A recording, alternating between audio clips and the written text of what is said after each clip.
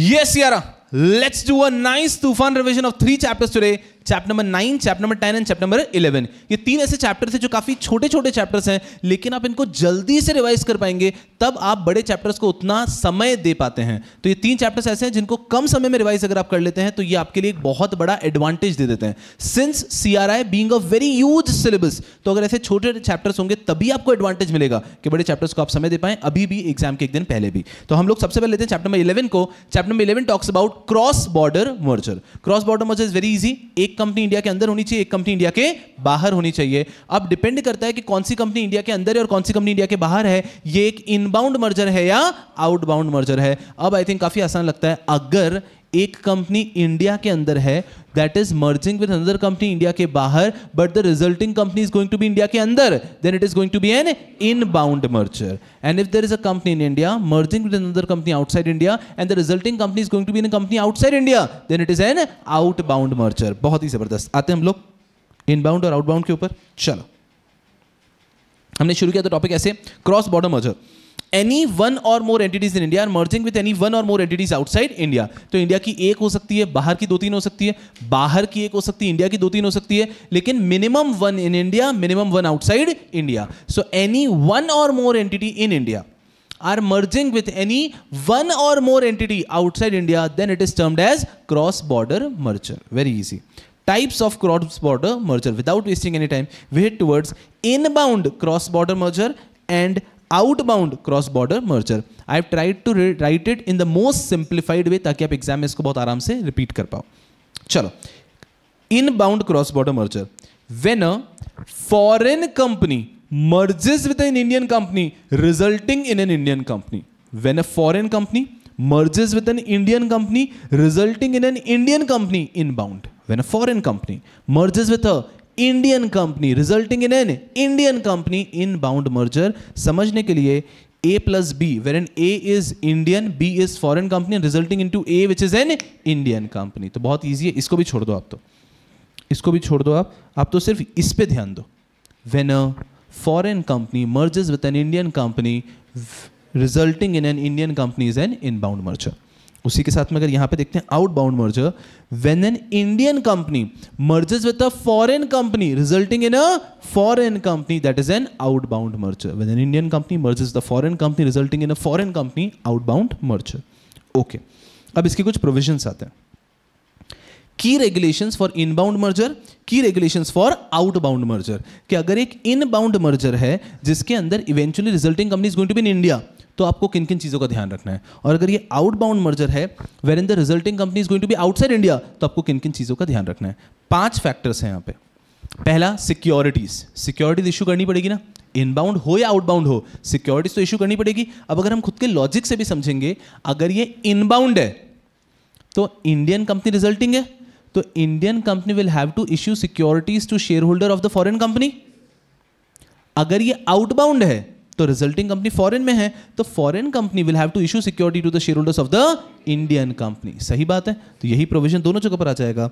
Securities में inbound के case में Indian company to issue or transfer shares or securities to transferor company कि भैया ट्रांसफरर कंपनी के शेयर होल्डर्स को हमको सिक्योरिटी देनी पड़ेगी एज अ कंसिडरेशन और वहीं अगर मैं आता हूँ आउटबाउंड में foreign company to issue or transfer security to shareholders of transferor company इसको आप रटो ही मत, आप इसको सिर्फ़ लॉजिक से पढ़ो। इट्स वेरी इजी जो रिजल्टिंग कंपनी है, वही तो बंद होने वाली कंपनी के शेयर होल्डर्स को पे करेगी। तो इनबाउंड के अंदर रिजल्टिंग कंपनी इंडिया में है so Indian company will issue shares to the shareholders of the foreign company और अगर आउटबाउंड है तो फॉरेन कंपनी कंटिन्यू करने वाली है। Foreign company will issue shares to the shareholders of Indian company ठीक है सर सिक्योरिटी दूसरा आता है branch office of transferor company अब, अगर मान लीजिए इनबाउंड है तो हमने फॉरेन कंपनी को मर्ज करके इंडियन कंपनी में लिया है। अब उस फॉरेन कंपनी के फॉरेन में बहुत सारे ब्रांच ऑफ़िस होंगे ना। उनका क्या? Now they will become branch office of Indian company exactly opposite अगर आउटबाउंड मर्जर है इंडियन कंपनी मर्ज हो गई विद फॉरेन कंपनी तो इंडियन कंपनी के बहुत सारे ब्रांचेस होंगे इंडिया में। Now they will become the branches of the foreign company कितना आसान है। नेक्स्ट असेट्स ऑफ़ ट्रांसफरर तो all the assets of transferor inbound है। इंडिया में हूँ मैं। इंडिया में रिजल्टिंग कंपनी है। तो जो भी ट्रांसफरर के सारे असेट्स हैं, वो बन जाएँगे हमारे इंडियन कंपनी के। और वहीं आउटबाउंड है तो जो भी इंडियन कंपनी बंद हो रही है रिजल्टिंग कंपनी फॉरेन में है तो इंडियन कंपनी के सारे असेट्स बन जाएँगे assets of foreign company transfer का। अब यहाँ पे एक प्रॉब्लम आती है।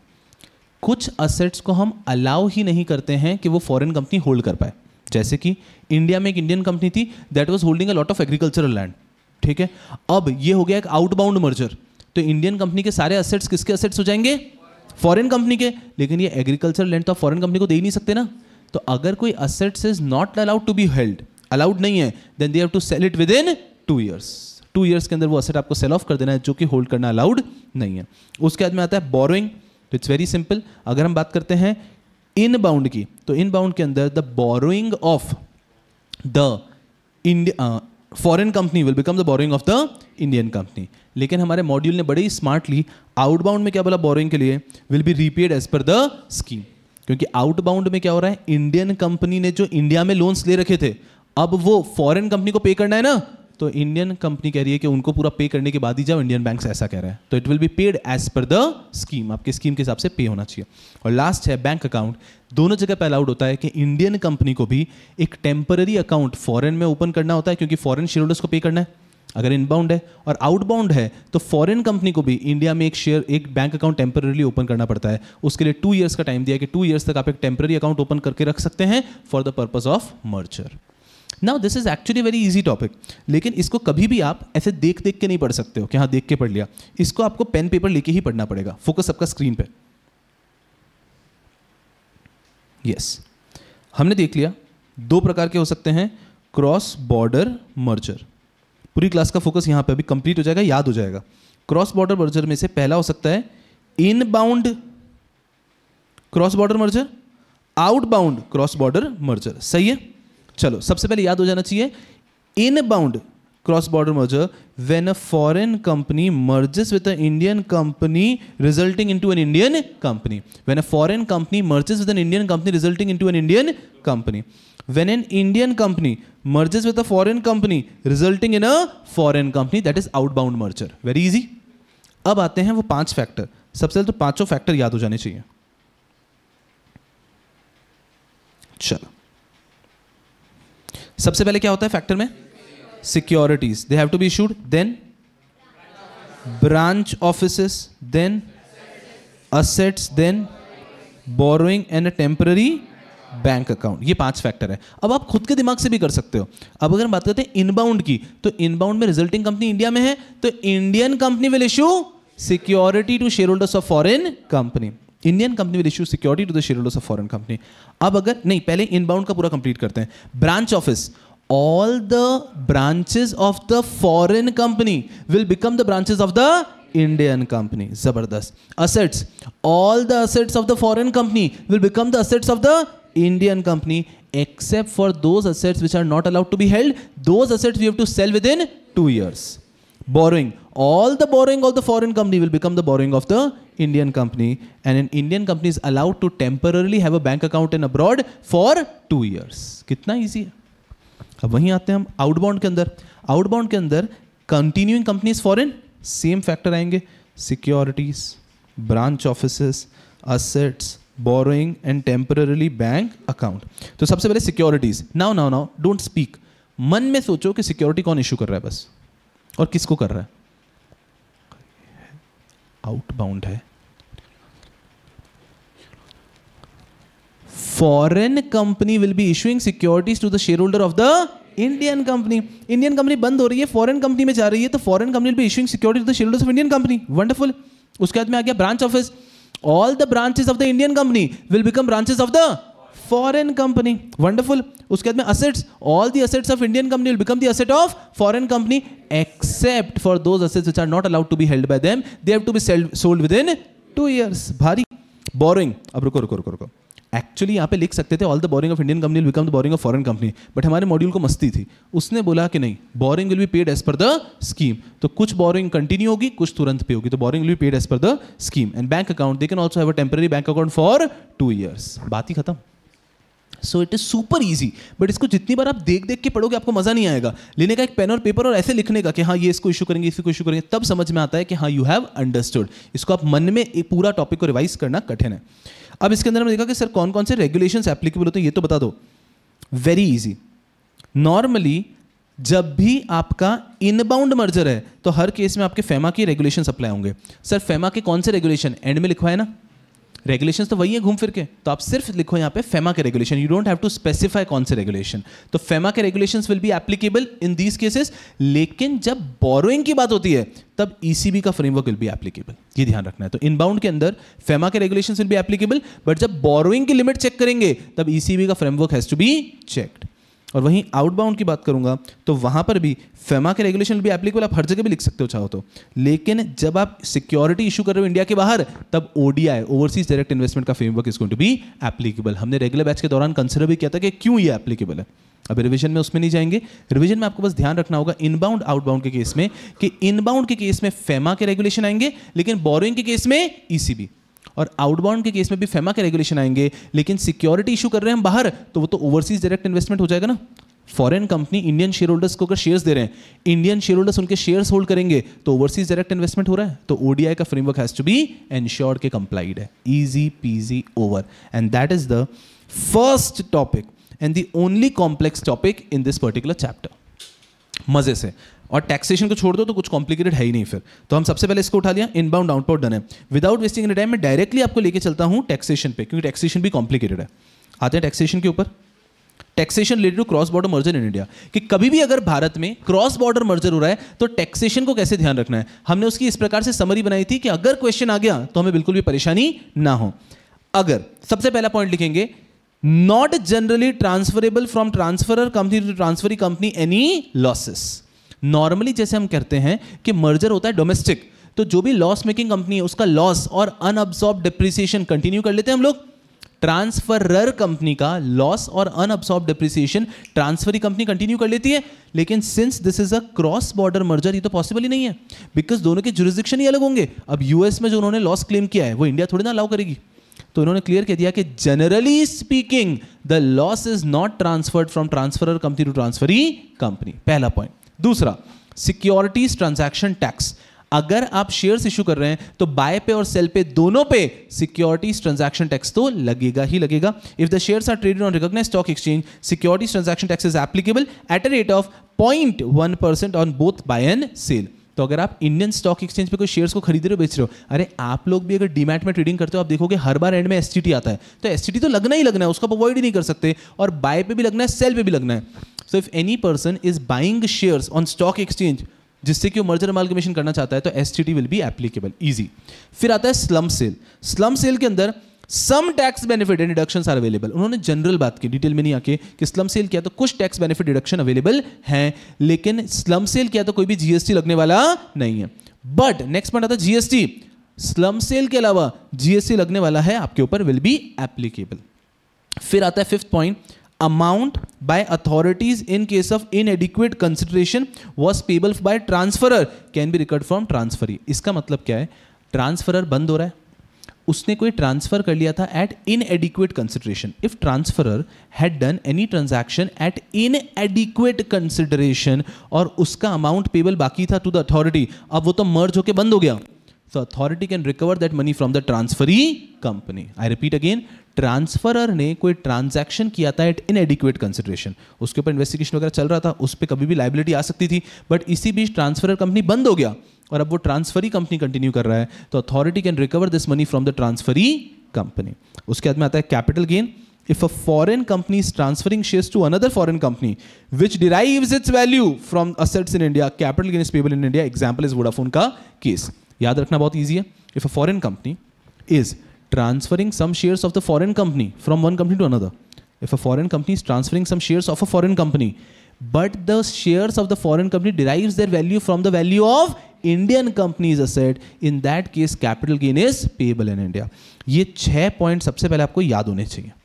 अगर ये छह पॉइंट याद है तो एग्ज़ाम के किसी भी आंसर को आप हैंडल कर पाओगे। इसके अलावा भी हमने बहुत कुछ पढ़ा है लेकिन वो बात की बात आती है सबसे पहले आपको छह पॉइंट्स याद होने चाहिए तभी आप एग्ज़ाम के क्वेश्चन को हैंडल कर पाओगे अगर कभी आता है क्रॉस बॉर्डर के टैक्सेशन पे। चलो easy there are six points पहले हेड्स ध्यान रखो। Normal tax losses S slump sale GST capital gain और जो इनएडिक्वेट कंसिडरेशन का पैसा है, ये छह पॉइंट वापस एक बार देखते हैं। नॉर्मली आता है टैक्स के losses S slump sale GST inadequate consideration का जो पैसा देना बाकी है और लास्ट कैपिटल गेन ये छह हेड है। अब इन छह के पॉइंट देखते हैं क्या? Tax losses generally the tax losses of the transferor company will not be allowed to carry forward by the transferee company फिर आता है STD STD will be payable if you bought और sold any shares on the registered stock exchange recognise stock exchange उसके बाद में slump sale slump sale को कुछ deduction मिल सकते हैं, लेकिन उन पर जीएसटी नहीं लगेगा। फोर्थ जीएसटी अदरवाइज़ हर केस में जीएसटी लगेगा। फिफ्थ अगर इन एडिक्वेट कंसिडरेशन अपने पे कोई ट्रांजेक्शन किया था और पैसा देना बाकी था ट्रांसफ़र का that can be recovered from transferee company और कैपिटल गेन का एक पॉइंट आता है कि अगर फॉरेन कंपनी कोई भी शेयर्स में ट्रांजैक्ट कर रही है, जो शेयर्स का वैल्यू डिराइव किया जाता है from Indian company set then tax is payable in India ये छह पॉइंट्स अगर याद है तो हमारा आंसर बन जाता है। अभी गेटिंग अ फेयर आइडिया अब हम इनके एक्सप्लेनेशन में जाते हैं कैपिटल गेन वाले पॉइंट के। इसको हम थोड़ा सा घुस के पढ़ते हैं। अब इसके अंदर इन्होंने कुछ बात बताई है। Capital gain for inbound transaction के अंदर इट विल बी एग्जाम्ड अगर आप क्रॉस बॉर्डर मर्जर कर रहे हो इनबाउंड तो उसमें एग्जामेशन मिल जाएगा। एक तो स्लम्प सेल के केस में और साथ में अगर three fourth of the share holders of transferor company have become the share holder of transferee company तो कैपिटल गेन में एग्जामेशन मिल जाएगा अगर आपका स्लम सेल है और साथ में three fourth of the share holders of transferor company have become the share holders of transferee company जैसे हम इंडिया में देते थे ना एग्जामेशन वैसे ये कह रहे हैं कि हम आपको एग्जामेशन दे देंगे।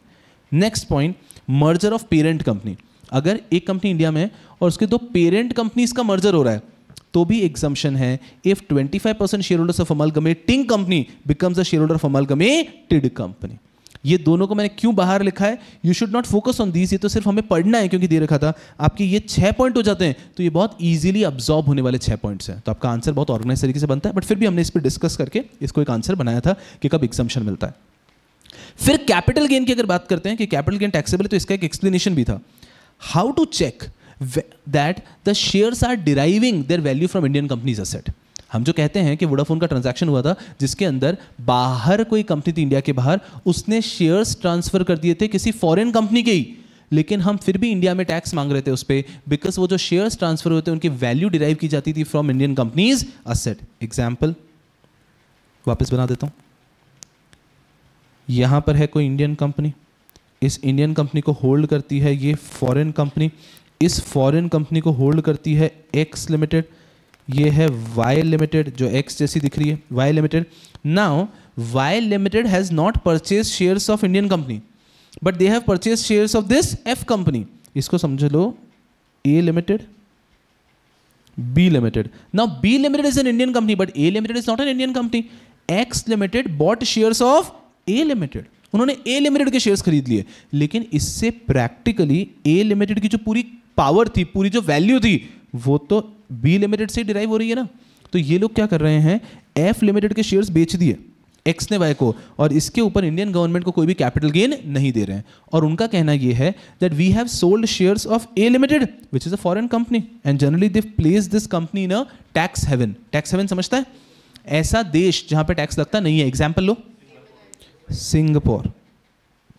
सिंगापुर ले लेते हैं हम एग्ज़ाम्पल ठीक है? तो सिंगापुर के अंदर मान लीजिए टैक्स रेट नेग्लिजिबल है। एग्ज़ाम्पल ले रहा हूँ मैं अभी। तो ये क्या करते हैं? एक फॉरेन कंपनी सिंगापुर में बैठा दी। अब सिंगापुर के अंदर एक फॉरेन कंपनी है। Now Y limited has bought from X limited shares of A limited इसमें इंडियन कंपनी तो कहीं आई नहीं ना? क्योंकि उन्होंने ए लिमिटेड एक सिंगापुर की कंपनी उसके शेयर्स खरीद लिए। लेकिन ए लिमिटेड के शेयर्स का वैल्यूएशन पूछना था, कितना वैल्यू है? इन्होंने कहा टेन थाउज़ेंड करोड़ बोले, टेन थाउज़ेंड करोड़ कहाँ से आए? अरे इंडियन कंपनी की वैल्यू है ना। Ten thousand crore?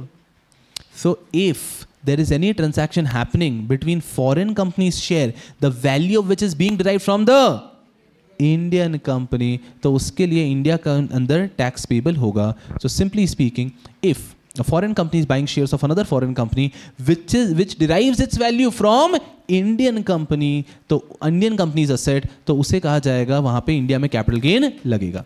अब क्वेश्चन ये आया कि हम कैसे डिटरमिन करेंगे कि उसकी वैल्यू इंडियन कंपनी से डिराइव की जाती है? तो उन्होंने एक फॉर्मूला बता दिया उसके लिए। उनका फॉर्मूला है if the value of asset of Indian company is at least hundred million rupees if the value of Indian company asset is at least hundred million rupees and this constitute 50 percent total value of assets of the foreign company कि foreign company के total value जो है, उसका 50 percent तो हम ही है। तो उस केस में माना जाएगा उसकी वैल्यू हमसे डिराइव हो रही है। एग्ज़ाम्पल ये जो इंडियन कंपनी है, इसका असेट का वैल्यू टेन थाउज़ेंड करोड़ है और इस फॉरेन कंपनी का टोटल वैल्यू ही ट्वेल्व थाउज़ेंड करोड़ है। मतलब उस ट्वेल्व थाउज़ेंड करोड़ में से टेन थाउज़ेंड करोड़ तो हमारा ही है ना। So this foreign company is deriving its value from Indian company तो इनका कहना था दो ही कंडीशन है। पहला इंडियन कंपनी के असेट्स का वैल्यू हंड्रेड मिलियन रुपीज़ ध्यान रखना, अंदर से आपके डॉलर निकलेगा। तो केयरफुल रहना कि हंड्रेड मिलियन रुपीज़ होना चाहिए आपका, सबसे पहले इंडियन कंपनी का असेट और at least fifty percent of the total value of that foreign company is the value of asset of this Indian company. ये दो कंडीशन कंप्लाई कर देते हैं तो ये कहा जाएगा दर वैल्यू डिराइव की जा रही है।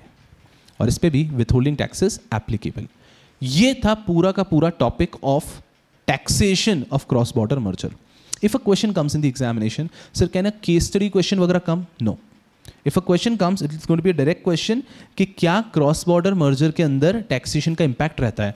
तो मेरा सजेशन हमेशा रहता है, पढ़ेंगे हम सब कुछ, हमने पढ़ा सब कुछ, लेकिन एग्ज़ाम में to make it organise you to write it right these six points and move on the question might be for three mark और फोर मार्क क्वेश्चन तो more than these six point लिखना is going to another waste time तो पता होना चाहिए सब कुछ, लेकिन आपको लिखने ये छह पॉइंट छह पॉइंट की अगर मैं बात करता हूँ तो सबसे पहला पॉइंट हो जाएगा टैक्स के लॉसेस दूसरा as sale GST inadequate consideration and the last is capital gain अगर मैं बात कर लेता हूँ टैक्स के losses generally not allowed as applicable point one percent के हिसाब से. स्लम्प सेल बहुत सारे डिडक्शन मिलेंगे and GST is not applicable otherwise GST is applicable if there was an inadequate consideration पे transfer by transferor company the money can be recovered from transferee company and capital gain will be applicable if there is a foreign company transferring share of another foreign company which drives is value from the Indian company is a set it makes an organized answer क्या चल यहाँ पे हम लोगों ने क्या देखा? हम लोगों ने अभी तक सिर्फ़ टैक्सेशन देख लिया और टाइप्स ऑफ़ मर्जर देख लिया। अब अगर हमें पता है, हम दिल पे हाथ रख के देखें तो चैप्टर में कुछ खास बचता नहीं है। हम आते हैं 234 के ऊपर। अगर हम बात करते हैं 234 के ऊपर तो ये क्या बात करता है? ये बात करता है क्रॉस बॉर्डर मर्जर के बारे में। This chapter applies to merger and amalgamation between a company registered under this act जो इस एक्ट के अंदर registered company and a company registered under jurisdiction of such countries as notified by central government तो India की कोई भी company world के किसी भी कंपनी के साथ में मर्जर नहीं कर सकती है। लेकिन इंडिया की कोई भी कंपनी जो नोटिफाइड एरियाज़ हैं, वहाँ के किसी भी कंपनी के साथ में मर्जर कर सकती है। तो हमारी बात आती है 234 पे। 234 says this chapter shall apply if merger and amalgamation is between a company registered under this act और any other previous law and a company registered under jurisdiction of such countries as notified by central government. Such merger has to be approved by RBI. ये कहा 234 ने। फिर आता है 234 और 25A बस इतना सा पढ़ना है इस चैप्टर में। 234 एंड 25A ये क्या कहता है? अगर कभी भी, अच्छे से समझना, बस यही इसका हार्ट है और इसके बाद तो सिर्फ़ छोटे छोटे टॉपिक्स बचेंगे। Indian company is merging with the foreign company ठीक है सर अब इसके अंदर ये क्या इनबाउंड आउटबाउंड वो सब छोड़ो। हमारा फोकस मोस्टली इनबाउंड के हिसाब से रहेगा। तभी तो इंडिया के लॉज ज़्यादा एप्लीकेबल होंगे। अगर आउटबाउंड होगा तो इंडिया के लॉज ज़्यादा एप्लीकेबल नहीं होंगे। तो हम प्रिज्यूम करते हैं basically that is an inbound merger पहले लॉ में इनबाउंड आउटबाउंड दोनों कवर्ड नहीं थे। लेकिन कंपनी से 2013 दोनों को कवर करता है। तो अभी इनबाउंड आउटबाउंड दोनों कवर्ड है। If Indian company is merging with a foreign company पहली कंडीशन तो क्या होगी? Foreign company should belong to eligible jurisdiction ठीक है? अब फिर क्या करेंगे ये? Step one they will make an application to RBI इस एप्लीकेशन के साथ में they will give a declaration declaration में क्या लिखा होगा? That valuation has been done as per internationally accepted principles of accounting and valuation क्योंकि क्रॉस बॉर्डर है तो हमने इंटरनेशनली एक्सेप्टेड प्रिंसिपल के हिसाब से कर लिया है। साथ ही साथ valuation is done by a registered professional of a professional body of the jurisdiction of transferee company कि जो ट्रांसफरी कंपनी है, उसके जुरिस्डिक्शन के हिसाब से भी वैल्यूएशन हो चुका है। तो इंटरनेशनल के हिसाब से भी वैल्यूएशन हुआ है और ट्रांसफरी कंपनी के जुरिस्डिक्शन के हिसाब से भी वैल्यूएशन हुआ है। ऑब्वियसली ना, अगर इनबाउंड है तो इंडिया के जुरिस्डिक्शन के हिसाब से हुआ है। आउटबाउंड है तो जिस भी कंट्री है, उसके जुरिस्डिक्शन के हिसाब से हुआ है। तो डिक्लेरेशन में दो चीज़ें लिख के दी जाती है that we have done the valuation as per international accounting and valuation principles and we have done the valuation appointing a professional of a jurisdiction of the transferee company इसका हमने डिक्लेरेशन दे दिया दे दिया आरबीआई को। अब RBI सोचता है क्या करना है, क्या नहीं करना है, और आरबीआई ने आपको अप्रूवल दे दिया दैट हमारे हिसाब से थम्सअप है। बात खत्म। Step 3 You can make an application to NCLT along with CAA 16. CA 16 if the foreign company is from a country which shares land border with India. तो अगर आपका मर्जर एक ऐसी कंट्री के साथ में, ऐसी कंपनी के साथ में which belongs to a country जिसके साथ इंडिया लैंड बॉर्डर शेयर करती है तो आपको एक एडिशनल डिस्क्लोजर देना सी ए सिक्सटीन हाँ अरे टॉपिक शुरू होने के पहले खत्म ही हो गया। खत्म, बस। तो अगर 234 और 25 ए की बात होती है हाँ ये ध्यान रखना है कि कभी भी अगर क्रॉस बॉर्डर मर्जर है तो applicable regulations applicable rules applicable section क्या है? 234 of companies act 2013 and 25 A of companies compromise amalgamation compromise arrangement amalgamation rules two thousand and sixteen तो section 234 read with rule 25 A से हम ये पूरा govern करते हैं। और पूरे में तो कुछ है ही नहीं कि कोई भी एक कंपनी है, वो अगर मर्ज होना चाहती है Indian company with foreign company तो foreign company should belong to a jurisdiction permitted they have to make an application to RBI wrong with the declaration that valuation has been done as per international records international valuation and accounting policies, and valuation has been done by a professional belonging to the jurisdiction of transferee company. And then RBI checks it up RBI ने approval दे दिया. Thumbs up फिर हम NCLT के पास जाते हैं कि आरबीआई का अप्रूवल आ चुका है. आप भी हमें अप्रूवल दे दो. अगर हम किसी ऐसी कंपनी के साथ में मर्जर करें जो लैंड बॉर्डर शेयर करती है तो हमें सी ए सिक्सटीन भी फ़ाइल करना है. एंड खत्म ही हो गया ना? It's so easy it's so easy and this is 234 read with 25 A 234 read with 25 A of companies compromise arrangement amalgamation rule 2016 चलो। कुछ भी नहीं है। इसके बाद में एक टॉपिक आता है कि सर जुरिस्डिक्शन कौन कौन से परमिटेड है? वैसे तो आप बच्चे इतनी बार पढ़ चुके हो कि आपको परेशानी नहीं है बट फिर भी एक बार देख लेते हैं कि कौन से जुरिस्डिक्शन से अलाउड है। इंडियन कंपनी अगर मर्जर करना चाहती है तो कौन से जुरिस्डिक्शन के कंट्रीज़ के कंपनीज़ से हम मर्जर कर सकते हैं? पहला whose securities market regulator is a signatory to IOSCO और signatory to bilateral memorandum understanding with SEBI आपने इतनी बार पढ़ा है कि आपको एक बार में समझ में आएगा कि हम सिर्फ़ ऐसी कंट्री के किसी कंपनी से मर्जर कर सकते हैं जो या तो आई का मेंबर है सिग्नेटरी है। I international organization for securities commission जैसे इंडिया का सेबी है यूएस का एस है ये हर एक कंट्री के सिक्योरिटीज मार्केट रेगुलेटर है। इनका एक कमीशन है, इनका एक ऑर्गेनाइजेशन है। International organization of securities commission तो सारे सिक्योरिटीज कमीशन का एक ऑर्गेनाइजेशन उसे कहते हैं आईओएससीओ तो अगर जिस भी कंट्री के अंदर उनका रेगुलेटर आईओएससीओ का सिग्नेटरी है, उस कंट्री के साथ में हम एमएनए कर सकते हैं। सर, कोई कंट्री है जिसका आईओएससीओ के साथ सिग्नेटरी नहीं है? उनका और सेबी का कोई बायोलिटरल एमओयू है क्या? है। तो भी आप मर्जर कर सकते हो। तो इन दोनों में से एक चीज़ कंप्लाई करनी है। या तो आईओएससीओ एक याद आ रहा है ना गुंडो? एग्जीक्यूटिव में पढ़ी थी सेम चीज़ आपने लोगों ने तो सिमिलर चीज़ पढ़ी हुई आपने कि आईओएससीओ का सिग्नेटरी है या फिर सेबी के साथ बायोलिटरल एमओयू है। चलेगा? उसके बाद में, या फिर who central bank is a member of bank for international settlement ये नया है। कि सर सिक्योरिटीज मार्केट रेगुलेटर के हिसाब से तो एलिजिबिलिटी नहीं मिली। तो उनका सेंट्रल बैंक देखो, जैसे इंडिया का आरबीआई है तो हर एक एक सेंट्रल बैंक है, क्या वो जैसे सेबी का आईओएससीओ है, वैसे इनका है इंटरनेशनल सेटलमेंट्स का bank bank for international settlements क्या वो उसका मेंबर है क्या? तो इसमें क्या होता है इंटरनेशनल ये ग्रुप है, जिससे कि सेटलमेंट होता है अमंग बैंक्स अब्रॉड में। तो इनका कहना है, क्या आपका central bank is a member of B I S bank of international settlement कि सर हाँ है तो भी चलेगा। और उसके साथ में एंड इन दोनों में से तो एक चाहिए समझ में आ रहा है ना? या तो आपका सिक्योरिटीज मार्केट रेगुलेटर प्रॉपर होना चाहिए, या फिर आपका सेंट्रल बैंक रेगुलर होना चाहिए। दोनों में से एक चाहिए। और साथ में and a jurisdiction which is not identified by public statement of FATF Financial Action Task Force FATF ने आपको डेजिग्नेट नहीं कर रखा है। A jurisdiction having strategic anti-money laundering or combating the financing of terrorism, deficiencies to which countermeasures apply. तो F is financial action task force वो देख रहा है यहाँ से। उसने पूरे दुनिया के सारे कंट्रीज़ को देखा और उन्होंने कहा, ये सुनो यार, आपकी कंट्री के अंदर थोड़ा प्रॉब्लम है। आपकी कंट्री के अंदर डेफिशिएंसीज है कि टेररिज्म पॉसिबल है स्पेशली फाइनेंशियल कि टेररिज्म को पैसा आप लोग दे सकते हो। ये पॉसिबल है, आपके अंदर बहुत सारी डेफिशिएंसीज हैं।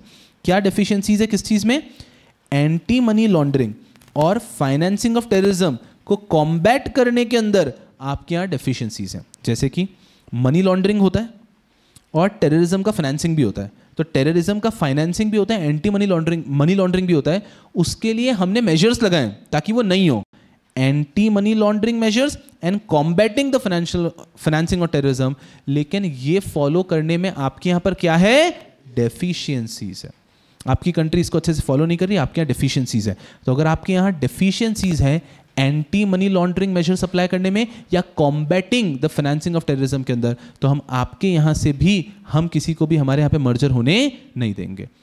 दूसरी चीज़, या फिर या तो डेफिशिएंसीज हैं, या दूसरा a jurisdiction that has not made sufficient progress in addressing the deficiencies या फिर डेफिशिएंसीज तो हैं, पहले बताया था, और हमने आपको मेजर्स दिए, वो मेजर्स भी आप इंप्लीमेंट करने के लिए रेडी नहीं है. You are not ready to have address the deficiencies or has not committed to an action plan developed with FATF तो आपके यहाँ deficiencies तो हैं और deficiencies के साथ में भी हमने आपको action plan दिया है, वो आप implement करने के लिए या फिर उसको fight करने के लिए, address करने के लिए ready नहीं है। देखो इसको याद रखने का easy तरीका क्या है। Focus on the screen. Jurisdiction का पॉइंट चल रहा है कि कौन से जुरिस्डिक्शन के कंपनीज़ के साथ हम मर्ज हो सकते हैं। तो इसको ऐसे देखना कि जुरिस्डिक्शन कैसा होना चाहिए और जुरिस्डिक्शन कैसा नहीं होना चाहिए। जुरिस्डिक्शन कैसा होना चाहिए? या तो आईओएससीओ या फिर बायलेटरल ट्रीटी का सिग्नेटरी होना चाहिए। इन दोनों में से एक। या फिर इंटरनेशनल बैंक फॉर सेटलमेंट का मेंबर होना चाहिए। तो इन दोनों में से कोई एक चीज़ तो होनी ही चाहिए। सही बात है? या तो आपका सिक्योरिटीज मार्केट रेगुलेटर आईओएससीओ का सिग्नेटरी होना चाहिए या फिर बायलेटरल ट्रीटी विद सेबी होनी चाहिए। या फिर आपका जो सेंट्रल बैंक है, वो international settlement for bank bank for international settlement का मेंबर होना चाहिए। ठीक है सर इन दोनों में से कोई एक चीज़ सेटिस्फाई करते हो क्या हाँ करते हैं तो आगे आओ, फिर आपका जुरिस्डिक्शन कैसा नहीं होना चाहिए। एफएटीएफ ने आपके यहाँ पे डेफिशिएंसीज फाइंड नहीं करनी चाहिए, और दूसरी चीज़, या फिर डेफिशिएंसीज अगर पहले फाइंड हुई थी बट आप ना तो उसका action plan against the deficiencies के लिए रेडी हो, ना ही आप उसके लिए कोई भी मेजर्स लगाने को रेडी हो। कोई भी आपके यहाँ पे प्रोग्रेस नहीं हुई है for combating for handling the deficiencies तो इन दोनों में से कहीं पे भी आप कवर होते हो तो यहाँ पर आपको अलाउ नहीं करेंगे। तो आपको कैसा चेकलिस्ट चाहिए? यहाँ पे इन दोनों में से एक होना चाहिए और ये नहीं होना चाहिए ऐसे ही एक जुरिस्डिक्शन के अंदर आपको अलाउ किया जाएगा, वहीं के किसी कंपनी के साथ आप मर्ज हो सकते हो। एग्ज़ाम्पल ऑस्ट्रेलिया तो हम लेते हैं। तो हम बात करते हैं अगर ऑस्ट्रेलिया की तो वहाँ पे क्या ऑस्ट्रेलिया का सिक्योरिटीज कमीशन आईओएससीओ का मेंबर है, उन्होंने कहा, नहीं है। एग्ज़ाम्पल नहीं है। क्या उसका सेबी के साथ कोई बायोलेटरल एमओयू है? नहीं है। अरे यार। क्या ऑस्ट्रेलिया का central bank is a member of bank for international settlement yes बच गए। इनमें से तो एक ही चाहिए था ना? बस एक है, चलेगा। यहाँ पे चेक आ गया, चलेगा। अब आपको देखना पड़ेगा कि क्या ऑस्ट्रेलिया के अंदर फाइनेंशियल एक्शन टास्क फोर्स ने उनका नाम लिस्ट में ऐड कर रखा है क्या? That they have deficiencies deficiencies in what anti money laundering measures apply करने में या फिर combating the financing of terrorism इसमें डेफिशिएंसी है क्या? नहीं है, बच गए। क्या उनका नाम उस लिस्ट में है क्या जिनको हमने एक्शन प्लान दिया था कि ये आप फॉलो करो डेफिशिएंसीज को इंप्रूव करने के लिए बट उन्होंने कोई भी प्रोग्रेस बनाई नहीं है नहीं है उस लिस्ट में भी नाम। वंडरफुल यहाँ पे कवर्ड नहीं होनी चाहिए, यहाँ पे कवर्ड होनी चाहिए, यहाँ पर आप एमएनए कर सकते हो। आर वी अंडरस्टैंडिंग तो इट सिंपली सेज कि कंपनी कौन सी जगह से होनी चाहिए और वो जगह कैसी नहीं होनी चाहिए। I think it's quite easy are we getting a fair idea yup yup yup चलिए तो हम लोग यहाँ पर आ गए जुरिस्डिक्शन की बात कर ली। अब हम ऐसे ही फुदू फुदू टॉपिक्स की बात करते हैं। What are the benefits and risk drivers and return कहते हैं। एग्ज़ाम में ध्यान रखना क्वेश्चन ड्राइवर्स एंड रिटर्न के नाम से भी आ सकता है बेनिफिट्स एंड रिस्क के नाम से भी आ सकता है कि क्रॉस बॉर्डर अगर आप मर्जर कर रहे हैं तो क्या क्या बेनिफिट्स और रिस्क होते हैं? उन्होंने कहा चार बेनिफिट्स हैं। पहला डाइवर्सिफिकेशन ऑब्वियसली बात है। डाइवर्सिफिकेशन के लिए जनता इंडिया के बाहर मर्जर कर रही है, इससे ज़्यादा तो क्या ही करेंगे? तो डाइवर्सिफिकेशन का बेनिफिट मिलने वाला है। डाइवर्सिफिकेशन आपके बिज़नेस का भी होगा। तो आप समझिए, एक तो जोग्राफिक डाइवर्सिफिकेशन हो रहा है कि अब आपके प्रोडक्ट वहाँ बिकेंगे। और दूसरा, जिसके साथ अगर आप मर्जर कर रहे हो, वो प्रोडक्ट भी कुछ और बेचते हैं। तो आपका प्रोडक्ट डाइवर्सिफिकेशन भी हो रहा है। तो दो प्रकार के डाइवर्सिफिकेशन हो सकते हैं। जोग्राफिक तो होना ही है। और साथ में प्रोडक्ट डाइवर्सिफिकेशन भी हो सकता है। अगर उनका प्रोडक्ट ही कुछ और था, आपका प्रोडक्ट ही कुछ और था और आप मर्ज हो रहे हो तो जोग्राफिक के साथ में प्रोडक्ट डाइवर्सिफिकेशन भी होगा। Next achieving cost efficiency obviously कि अगर आप बड़ी बड़ी कंपनी साथ में आ जाएगी तो इकोनॉमीज ऑफ़ स्केल तो आपकी कॉस्ट एफिशियंसी होने ही वाली है। Next technological advancement now you'll be able to use their technology या फिर they'll be able to use your technology तो जो आपका आर एन डी का खर्चा है, वो कम होने वाला है, जो कॉमन खर्चा हुआ है, उसका एडवांटेज आप सब लोग लेके जाएँगे। And next is distribution you get a huge distribution channel आपको डिस्ट्रीब्यूशन चैनल मिल जाता है। वर्ल्ड वाइड अब आपके प्रोडक्ट्स अवेलेबल हो पाएँगे अगर आप एमएनए कर रहे हैं बड़े पैमाने पर तो ये हो गए चार बेनिफिट्स अब हमें भी पता है कि सिर्फ़ चार बेनिफिट नहीं है, ऐसे हम 400 पॉइंट लिख सकते हैं। बट मॉड्यूल में उन्होंने चार एग्ज़ाम्पल दिए कि क्रॉस बॉर्डर मर्जर में आपको ये बड़े बेनिफिट मिलने वाले हैं। एक्चुअली देखो डाइवर्सिफिकेशन तो सही है। कॉस्ट इफेक्टिवनेस का क्रॉस बॉर्डर से तो कोई रिलेशन ही नहीं है। वो तो डोमेस्टिक में भी होने वाला है। बट उन्होंने दिया है। हाँ टेक्नोलॉजिकल एडवांसमेंट का एडवांटेज है कि अगर हम जापान की किसी कंपनी के साथ में अगर करते हैं तो हमें वो टेक्नोलॉजी मिलेगी जो हमारे पास शायद अभी तक नहीं है। और लास्ट में आता है डिस्ट्रीब्यूशन तो डिस्ट्रीब्यूशन ऑल्सो मेक सेंस तो कॉस्ट इफेक्टिवनेस ज़बरदस्ती ऐड किया। अदरवाइज़ डाइवर्सिफिकेशन बिल्कुल सही है। डिस्ट्रीब्यूशन बिल्कुल सही है। और आपका जो टेक्नोलॉजिकली डेवलपमेंट होने वाला है, वो बिल्कुल सही है। तो तीन पॉइंट है और साथ में हम कॉस्ट इफेक्टिवनेस भी ले लेते हैं। फिर इनका कहना है कि तीन बड़े रिस्क भी हैं। पहला कॉस्ट क्योंकि आपको उनके हिसाब से भी, उनके भी लोकल प्रोफेशनल्स को अपॉइंट करना पड़ता है। दैट इंक्रीजेज योर कॉस्ट तो खर्चा बहुत बढ़ जाएगा आपका क्रॉस बॉर्डर मर्जर में। दूसरा पॉइंट आ जाएगा रेगुलेटरी लैंडस्केप अभी आपको सिर्फ़ अपना लॉ कंप्लाई करना था, वो भी नहीं हो रहा है। तो आपको उनका भी लॉ कंप्लाई करना पड़ेगा। That is going to be huge and political scenario obviously बात है, जैसे कि Canada and further so far is we hearing international peace तो भी बहुत ही क्वेश्चनेबल सिनेरियो में चलता है ये यू नेवर नो कि कब क्या चीज़ हो जाए। तो अगर किसी भी कंट्री के साथ में आप क्रॉस बॉर्डर मर्जर कर रहे हो, ये सोचते हुए कि अरे बड़ा मज़ा आएगा, उनके यहाँ पे ये सब फ़ायदा मिलेगा। और अगर पॉलिटिकल स्टेबिलिटी ही नहीं है वहाँ पर तो भी आपका cross border merger gets into very risky hands तो ये तीन जेन्युन रिस्क हैं। कॉस्ट बढ़ती है, उनके रेगुलेशन अलग होंगे, वो भी कंप्लाई करना पड़ेगा, और पॉलिटिकल सिनेरियो उनका चेक करना पड़ेगा। If it is very stable तो ही हम जा सकते हैं। These are some benefits and risk yes sir cost effectiveness हो तो सकता है, मेरा कहना है कि क्रॉस बॉर्डर मर्जर में और डोमेस्टिक मर्जर में ये as an cost effectiveness is a benefit of a merger but it is not a benefit of a cross border merger specially ऐसा। ऐसे तो सिनर्जी भी तो पॉइंट है ही ना। तो यहाँ पे वो फोकस कर रहे हैं कि क्रॉस बॉर्डर के कारण क्या खास हुआ, वो बताओ। अदरवाइज़ बेनिफिट्स तो हम लिख ही सकते हैं।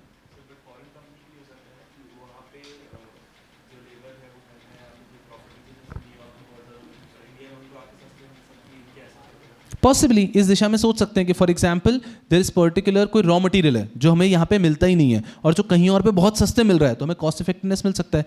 कोई ऐसी कंपनी के साथ हम मर्ज हो रहे हैं, जो कि हमारा वर्टिकल इंटीग्रेशन कर रहा है। तो पहले हम उनसे खरीदते थे, अब हमारे साथ मर्ज ही हो गया है तो हमें एट कॉस्ट मिल जाएगा। तो ऐसे कॉस्ट एडवांटेज हो ज़रूर सकते हैं। जैसे कि डिस्ट्रीब्यूशन एक बहुत बड़ा एडवांटेज है क्रॉस बॉर्डर का। साथ में टेक्निकल एडवांसमेंट बहुत टेक्नोलॉजिकल एडवांसमेंट बहुत बड़ा बेनिफिट है। उतना बड़ा नहीं है कॉस्ट खैर, हमें लिखने तो चारों है ही है। वो तो मेरा ओपिनियन है। My opinion is like cause opinion doesn't matter इधर पढ़ाई पे ध्यान देते हैं हम लोग। चलो, आते हैं हम लोग। बेनिफिट्स एंड रिस्क की बात हो गई। उसके बाद में आ गया valuation of cross border valuation को लेकर हमें यहाँ पे ज़्यादा कुछ पढ़ना ही नहीं है, क्योंकि वैल्यूएशन के पूरे चैप्टर में पढ़ेंगे हम। तो इनका बस इतना सा कहना था कि जैसे ही आपने क्रॉस बॉर्डर में एक कंपनी को आइडेंटिफाई कर लिया है कि इसी के साथ मर्जर करना है तो फिर आप उसके वैल्यूएशन पे ध्यान दो। और वैल्यूएशन के तीन उन्होंने फुद्दू से मेथड दिए। One was discounted cash flow method one is PE price earning ratio and one was market to book ratio ये वाला आप भूलोगे तो इसको ध्यान रखना बस, ठीक है? आप लोग डिस्काउंटेड कैश फ्लो नहीं भूलेंगे, आप पी नहीं भूलेंगे, आप market to book value ratio भूल जाएँगे तो बस ये तीन नाम लिखने हैं। वैल्यूएशन पढ़ने के बाद में ये आप बहुत डेप्थ में ऐसे भी समझ में आ ही जाएगा। उसके बाद में बचता क्या है हमारा? Regulatory aspect of cross border merger की क्या रेगुलेटरी एस्पेक्ट है? Earn out carve out and post merger evaluation regulatory aspects पे आते हैं।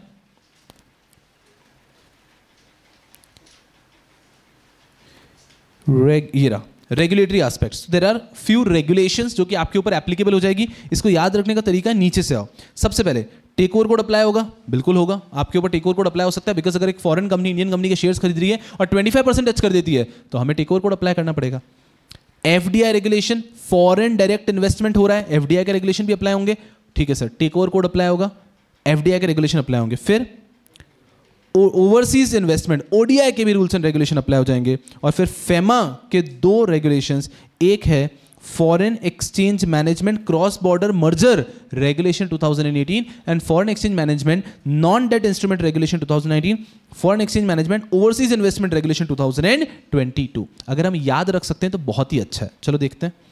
2018 2019 2022 तीन है फॉरेन एक्सचेंज मैनेजमेंट रेगुलेशन 2018 2019 2022 सबसे इंपॉर्टेंट है 18 वाला। क्योंकि वो स्पेशली किसके लिए बनाया? मर्जर के लिए। उसका नाम ही क्या है? FEMA cross border merger regulation 2018 फिर 2019 आता है। वो बनाया for non debt instruments for non debt instruments non debt का मतलब ही क्या हो गया? जिसके अंदर कहीं ना कहीं इक्विटी का एंगल रहेगा। तो आ गया FEMA foreign exchange management non debt instrument regulation. उसके बाद में आता है 2022 का ओवरसीज इन्वेस्टमेंट कि अगर ओवरसीज इन्वेस्टमेंट हो रहा है, foreign foreign exchange management overseas investment regulation चलो देखते हैं आपको कितना याद है। सबसे पहला कौन कौन से रेगुलेटरी एस्पेक्ट अप्लाई होंगे क्रॉस बॉर्डर मर्जर के केस में? केस में take over code foreign direct investment ODI ODI का भी रेगुलेशन नहीं ओवरसीज डायरेक्ट इन्वेस्टमेंट रेगुलेशन बोल दो चलेगा। अब बचते हैं तीन। तीनों फेमा के हैं। Foreign exchange management cross border merger 2018 non debt instrument 2019 and 2022 का ओवरसीज इन्वेस्टमेंट बस थोड़ा सा लिख लिख के ट्रिक से किया ना तो बहुत कंफर्टेबली हमको याद रह जाएगा। ये हो गया रेगुलेटरी एस्पेक्ट रेगुलेटरी एस्पेक्ट में हमें सिर्फ़ नाम पता होने चाहिए और कुछ भी नहीं। और उसके बाद में बचता है दो टॉपिक एक आता है हमारा पोस्ट मर्जर परफॉर्मेंस कि कैसे चेक करेंगे? कि हमने मर्जर तो कर लिया, संगम तो हो चुका है, लेकिन उसका बेनिफिट हुआ या नहीं हुआ? तीन फैक्टर है रिटर्न पहला तो सोमल दिमाग दिखाओ प्रॉफिट हो रहा है कि नहीं हो रहा है? रिटर्न जनरेट हो रहे हैं कि नहीं हो रहे हैं? एक और एक ग्यारह, क्या आपको बेनिफिट हो रहा है कि नहीं हो रहा है? पहले आपका रेवेन्यू इंडिविजुअली 200 200 सीआर था, अब वो अक्यूमुलेटेड वे में 500 600 सीआर हो रहा है या नहीं हो रहा है? Returns second is cash flow and operational efficiency हमने डिस्कस किया था कि स्टार्टअप्स के लिए कितना ज़्यादा इंपॉर्टेंट होता है कैश फ्लो यहाँ पे। तो cash flow and operational efficiency कि हमारी ऑपरेशनल एफिशिएंसी बढ़ रही है क्या? फॉर एग्जांपल दो कार मैन्युफैक्चरिंग कंपनीज़ मर्ज हो गए। पहले they were able to manufacture a car at say five lakh now whether they are able to manufacture the car at four lakh eighty thousand क्या operational efficiency बढ़ी क्या?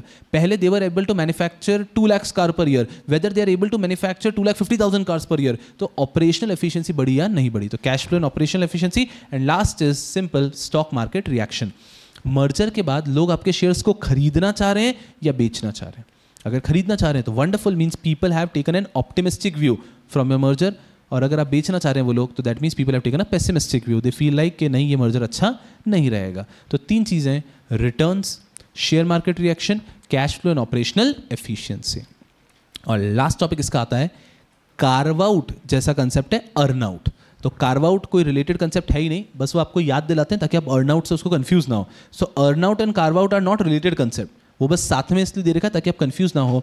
What are carve outs जैसे आपको शुरुआत में बताया था chapter number one में, हम किसी एक कंपनी के कुछ शेयर्स अगर किसी को इश्यू कर दें दैट इज़ कार्व आउट तो यहाँ पर क्रॉस बॉर्डर कार्व आउट क्या होगा? हमारी कंपनी के कुछ इक्विटी शेयर्स हम इंडिया के बाहर सेल ऑफ़ कर दें that is going to be cross border carve out तो हम पूरे शेयर्स नहीं, सिर्फ़ कुछ शेयर्स अगर इंडिया के बाहर इश्यू कर देते हैं cross border carve out earn out क्या होता है? अच्छे समझना। एक वर्ड ध्यान रखना है इसमें contingent consideration if there is a contingent consideration in a merger अगर एक क्रॉस बॉर्डर मर्जर के अंदर कंटिजेंट कंसिडरेशन रखा है हमने तो that is known as earn out इसका मतलब क्या होता है? इसका मतलब हमने आज एक डील तो कर दी, जैसे कि मैंने कहा कि I want to sell my car to you आपने कहा yes I have want to participate in a race and for that I need to buy a car मैंने कहा, ठीक है। बोले, कितने में दोगे आप कार? मैंने कहा टू लाख रुपीज़ में कार दे दूँगा मैं मेरी, लेकिन अगर आप इससे रेस जीत गए तो आप मुझे एक लाख रुपए और दोगे। तो मैं आज आपको कार दे रहा हूँ टू लाख में। Two lakh is the base consideration but I am keeping a contingent consideration के कल को इफ़ आप उस कार से रेस जीत गए तो you going to me additional one lakh rupees that one lakh will be termed as earn out तो अगर किसी भी ट्रांजैक्शन में हम एक कंटिजेंट कंसिडरेशन रख देते हैं तो उसे कहा जाता है अर्न आउट तो अगर मान लीजिए कोई फॉरेन मर्जर मालकमिशन हुआ है, और उसमें हमने कंटिजेंट कंसिडरेशन रख दिया कि अभी तो आपने हमको कंपनी के लिए हज़ार करोड़ दे दिए बट अगर हमारी कंपनी ने एक्स वाई जी ये सब चीज़ें अचीव कर ली तो उसके लिए आप हमें दो सौ करोड़ और दोगे. तो अगर कोई भी कंटिजेंट कंसिडरेशन रखा है क्रॉस बॉर्डर मर्जर में that be termed as earn out earn out तीन प्रकार के हो सकते हैं. Cash earn out equity earn out and stock option earn out stock compensation earn out तो इसके अंदर क्या हो रहा है? सिंपल कि कैश अर्न आउट आप कैश में दे रहे हैं इक्विटी अर्न आउट आप इक्विटी में दे रहे हैं स्टॉक कंपनसेशन अर्न आउट आप किसी और स्टॉक के फॉर्म में आप दे रहे हैं। तो ये तीन प्रकार से अर्न आउट हो सकते हैं। आई डोंट थिंक सो इनमें से कोई भी क्वेश्चन पेपर में पूछा जाएगा, क्योंकि इतने फुद्दू सवाल वो पूछने वाले नहीं है। It is not a ET और एग्जीक्यूटिव का पेपर कि वो आप लोगों को ऐसे डायरेक्ट पूछेंगे कि बताओ पोस्ट मर्जर कैसे क्रॉस बॉर्डर को चेक करेंगे? आप लिख दोगे वहाँ पे return stock market reaction efficiency as well as cash flow और आपको मार्क्स मिल जाएँगे तो जनरली ऐसे नहीं पूछे जाएँगे। तो सर पढ़ क्यों रहे हम? क्योंकि पूरे पेपर में पाँच दस मार्क्स के बोनस आएँगे। तो पूरे पेपर में ऐसे डायरेक्ट क्वेश्चन आएँगे नहीं इजी लेकिन पाँच दस मार्क्स के बोनस तो आएँगे तो वो बोनस को हम अच्छे से ले पाएँ इस कारण से। आपने वो देखा है बचपन में गेम मारियो ब्रोस खेला होगा सब में? तो उसमें नॉर्मली तो चलता था जिसके अंदर कुछ डिफ़िकल्ट लोग आते थे, उनसे आपको लड़ना पड़ता था, निकलना पड़ता था, लेकिन फिर बीच में बोनस लेवल्स आते थे, जिसमें हर तरफ़ कॉइन्स ही कॉइन्स होते थे। बस जाओ, खुलो, ले लो। बस वैसे कुछ एग्ज़ाम के अंदर आएँगे बोनस लेवल उन क्वेश्चंस को बहुत अच्छे से हैंडल कर पाओ, इसके लिए हमारे एक चीज़ को पढ़ते हैं। अगर इसमें से एग्ज़ाम में कोई चीज़ आने की सबसे ज़्यादा संभावना रहती है तो that is obviously this procedure of 234 read with 25 A are we good चलो, देखते हैं हमें चैप्टर याद हो गया कि नहीं।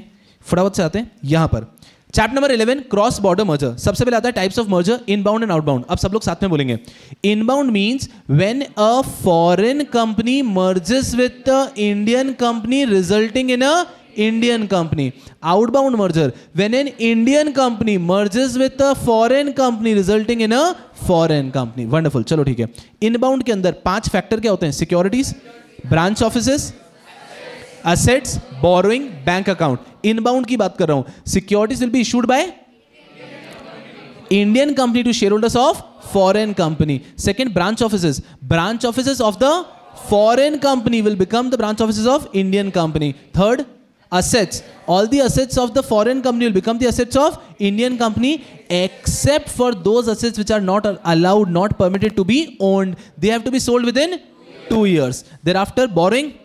All the borrowing of foreign company become the borrowing of the Indian company bank account Indian company is permitted to have a temporary bank account abroad for a period of two years to handle the merger amalgamation easy peasy over इसके अंदर applicable regulation की बात करूँ तो हर जगह FEMA regulation आ जाएगा। एक जगह ईसीबी आएगा। कहाँ? बोरोइंग जब बोरिंग की बात आएगी, तब वहाँ पे लिखना है ECB guidelines will be applicable बाकी फेमा फेमा फेमा। अब आ जाते हैं हम आउटबाउंड मर्जर के अंदर। तो आपको पता है क्या होता है आउटबाउंड मर्जर तो obviously when an Indian company mergers with a foreign company resulting in a foreign company पाँचों फैक्टर सेम है। Securities branch office assets borrowing bank account securities now securities be issued by outbound है ना? तो security be issued by foreign company to share holders of Indian company all the branches of Indian company will become the branches of foreign company assets all the assets of indian company will become the assets of foreign company except for those assets which are not allowed to be held and they have to be sold within 2 years and uske baad mein borrowing borrowing will be paid as per the scheme or last the bank account you're allowed to have a temporary bank account for 2 years easy peasy over इसमें सब जगह यहाँ पे वैसे कुछ लिखना नहीं but FEMA भी आप लिख सकते हो। एक जगह पर आएगा ओवरसीज डायरेक्ट इन्वेस्टमेंट सिक्योरिटीज क्योंकि यहाँ पर सिक्योरिटीज इशू कर रहा है फॉरेन कंपनी इंडियन कंपनी के शेयर होल्डर को तो उनका ओवरसीज डायरेक्ट इन्वेस्टमेंट हो रहा है इंडियन कंपनी के शेयर होल्डर्स का। ईजी पीजी ओवर फिर अगर मैं आपको लेके चलता हूँ इसके बाद directly on two thirty four read with two twenty A तो 234 रेड विथ 25 ए इसके अंदर कहा गया है कि कोई भी इंडियन कंपनी अगर फॉरेन कंपनी के साथ मर्ज हो रही है तो सबसे पहले तो चेक करना है कि foreign company belongs to a specified eligible jurisdiction. Now you have to give an application to RBI. Along with the application, you have to give a declaration. Declaration में दो point होने चाहिए. That the valuation is done as per international valuation and accounting norms. And दूसरा, the valuation is done by a professional belonging to jurisdiction of the transferee company उनका पूरा follow किया है फिर आरबीआई अगर हमें अप्रूवल दे देता है तो हम लोग फिर इस अप्रूवल के साथ में जाते हैं एनसीएलटी के पास में टॉपिक खत्म. बट अगर आपका ये मर्जर हो रहा है विद एनी कंट्री जिसके साथ आप लैंड बॉर्डर्स शेयर कर रहे हो तो आप दोगे साथ में सी ए ए सिक्सटीन बहुत ही ज़बरदस्त. उसके अंदर बात करते हैं जुरिस्डिक्शन की. देखते हैं आपको याद देखे नहीं है. जुरिस्डिक्शन अगर एक इंडियन कंपनी अब्रॉड में कहीं पे भी मर्जर करना चाहती है तो वो सिर्फ़ ऐसे जुरिस्डिक्शन से मर्जर कर सकती है जो कैसा होना चाहिए. पहला, या तो उसका सिक्योरिटीज मार्केट रेगुलेटर आईओएससीओ का सिग्नेटरी होना चाहिए, या फिर उसका सिक्योरिटीज मार्केट रेगुलेटर सेबी के साथ एक बायलेटरल ट्रीटी का सिग्नेटरी होना चाहिए। बहुत अच्छी बात ये होता है तो। ये नहीं है तो उनका central bank should be a member of bank for international settlement ये इनमें से कुछ एक तो होना ही चाहिए। हाँ ये है और साथ ही साथ वो they should not be included in the list made by F A T F wherein they have mention the countries which have deficiencies sir deficiencies किस चीज़ में होती है? एंटी मनी लॉन्ड्रिंग मेजर्स या combating financial terrorism financing of terrorism इसमें। या फिर they've had deficiencies but they are not ready to do any progress in addressing the deficiencies और implementing any action plan to reduce the deficiency तो यहाँ पे covered है तो ऐसी कंट्री के कंपनी के साथ हम मर्जर अमालगमेशन नहीं कर सकते। फिर आते हैं हम बेनिफिट्स एंड रिस्क ड्राइवर्स की बात कर रहे हैं। ध्यान रखना एग्ज़ाम में क्वेश्चन आएगा ड्राइवर्स और आप हिल जाओगे। तो केयरफुल रहो हर टाइम पे बेनिफिट्स एंड रिस्क वो ड्राइवर्स एंड रिटर्न बोल रहे हैं। ठीक है? तो बेनिफिट्स एंड रिस्क की बात करते हैं। बेनिफिट्स क्या है? चार diversification distribution cost efficiency and मैं भूल गया एक। टेक्नोलॉजिकल एडवांसमेंट यस तो डिस्ट्रीब्यूशन हो गया आपका एक पॉइंट डाइवर्सिफिकेशन डीडी हो गया। टेक्नोलॉजिकल एडवांसमेंट एक पॉइंट हो गया और एक ज़बरदस्ती कॉस्ट इफेक्टिवनेस को भी हम ऐड कर देते हैं। ये हो गया हमारा बेनिफिट्स रिस्क क्या है? तीन।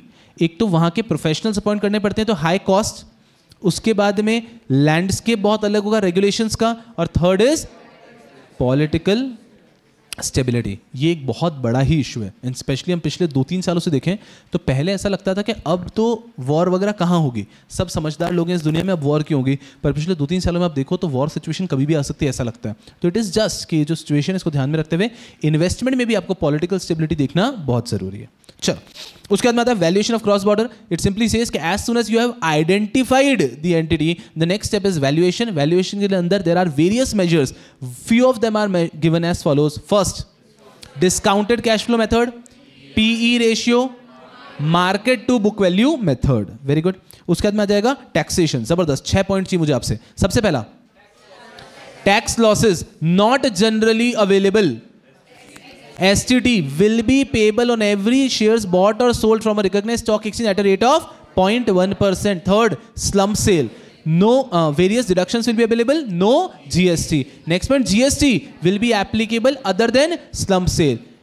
Inadequate consideration पे अगर ट्रांसफ़र किया था ट्रांसफरर ने और पैसा देना बाकी अथॉरिटी को authority can recover from the transferee company last is capital gain if any foreign company transfers shares of some foreign company which derives the value from Indian companies asset capital gain is going to be applicable in India ज़बरदस्त फिर आते हैं हम लोग regulatory aspect अब अब अब नाम बोल के बताओ। सबसे नीचे से आते हैं। Take over code FDI regulation ODI regulation रुक जाओ रुक जाओ रुक जाओ रुक जाओ। अब आते हैं फेमा के तीन रेगुलेशन मन में बोलो, तीनों बोल पा रहे हो क्या?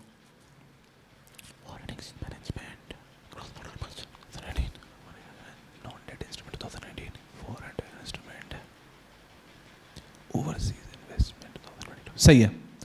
2018 का क्रॉस बॉर्डर मर्जर 2019 का नॉन डेट इंस्ट्रूमेंट 2022 का ओवरसीज इन्वेस्टमेंट बस रिवीजन करते रहो, भूल ही नहीं सकते हम लोग।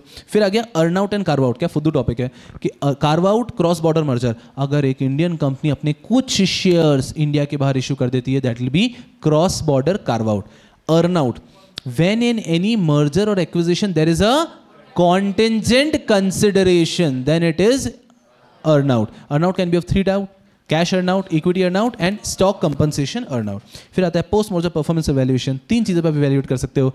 रिटर्न देखते हुए cash flow and operational efficiency कितना हुआ है? And last is stock market reaction and we are super done खत्म डन क्या? इसके अलावा कुछ पूछ ही नहीं पाएँगे. अभी getting a fair idea my goodness wonderful चलिए.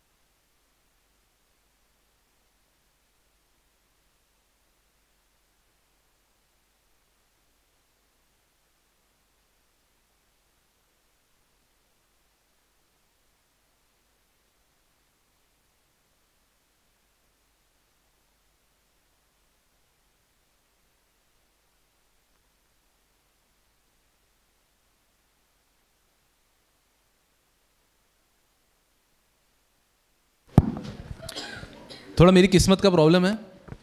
आप में से आधे लोगों को पता ही होगा।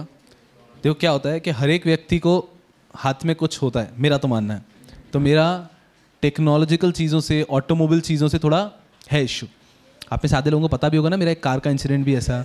तो वो मेरे जीवन में है। अब उसको मैं एक्सेप्ट कर चुका हूँ। तो just stay a little careful when we are in the lectures ठीक है? भगवान, कुछ भी होता है मेरे साथ। एक बार मैं पढ़ा रहा था क्लास में ऐसे ही लैपटॉप पढ़ा था और मैं पढ़ाते हुए एकदम जोश में आके ऐसे कुछ मारा समझ में आया क्या ऐसा? तो वो ऐसा बाउंस हुआ लैपटॉप और नीचे चला गया। जावरेस के क्लास में चल रहा था गॉन ठीक है? आ, एक बार ऊपर लेक्चर्स चल रहे थे पता नहीं क्या हुआ करंट फ्लो बैक किया और लैपटॉप जल गया। करंट फ्लो बैक हुआ लैपटॉप ये दो से तीन बार हो चुका है और ये तो मैं आपको सिर्फ़ ऊपर ऊपर की चीज़ें बता रहा हूँ इसके अलावा जीवन में क्या हुआ है तो मैं बता ही नहीं रहा हूँ। तो ठीक है कोई प्रॉब्लम नहीं है। तो ऐसा है एक एज के बाद आपको समझ में आ जाता है कि what does not work for you it does not mean you stop doing it but you stay careful then ऐसा। तो सेम मेरा प्रॉब्लम कार्स का भी है। ऑटोमोबाइल का भी इशू है कि मैं किसी भी गाड़ी खराब करने की ताकत रखता हूँ, ठीक है? और चला के नहीं, सिर्फ़ बैठ के। आपको समझ में आ रहा है? कैब वैब खराब कर देता हूँ मैं कभी कभी ऐसा। तो मैं उनको समझाता हूँ, वो मुझे सॉरी सॉरी मैंने कहा, आपकी गलती नहीं है सर आप लोड मत लो, ठीक है? ऐसा कुछ, ऐसा अलग पावर लेके चलता हूँ मैं।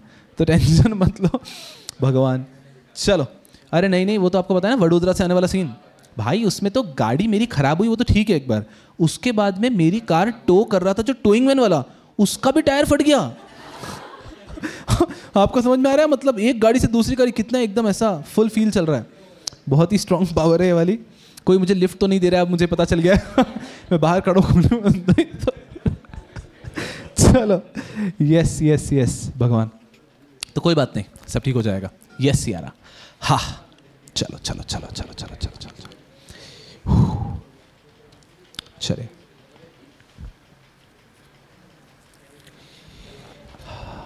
ಸರಿ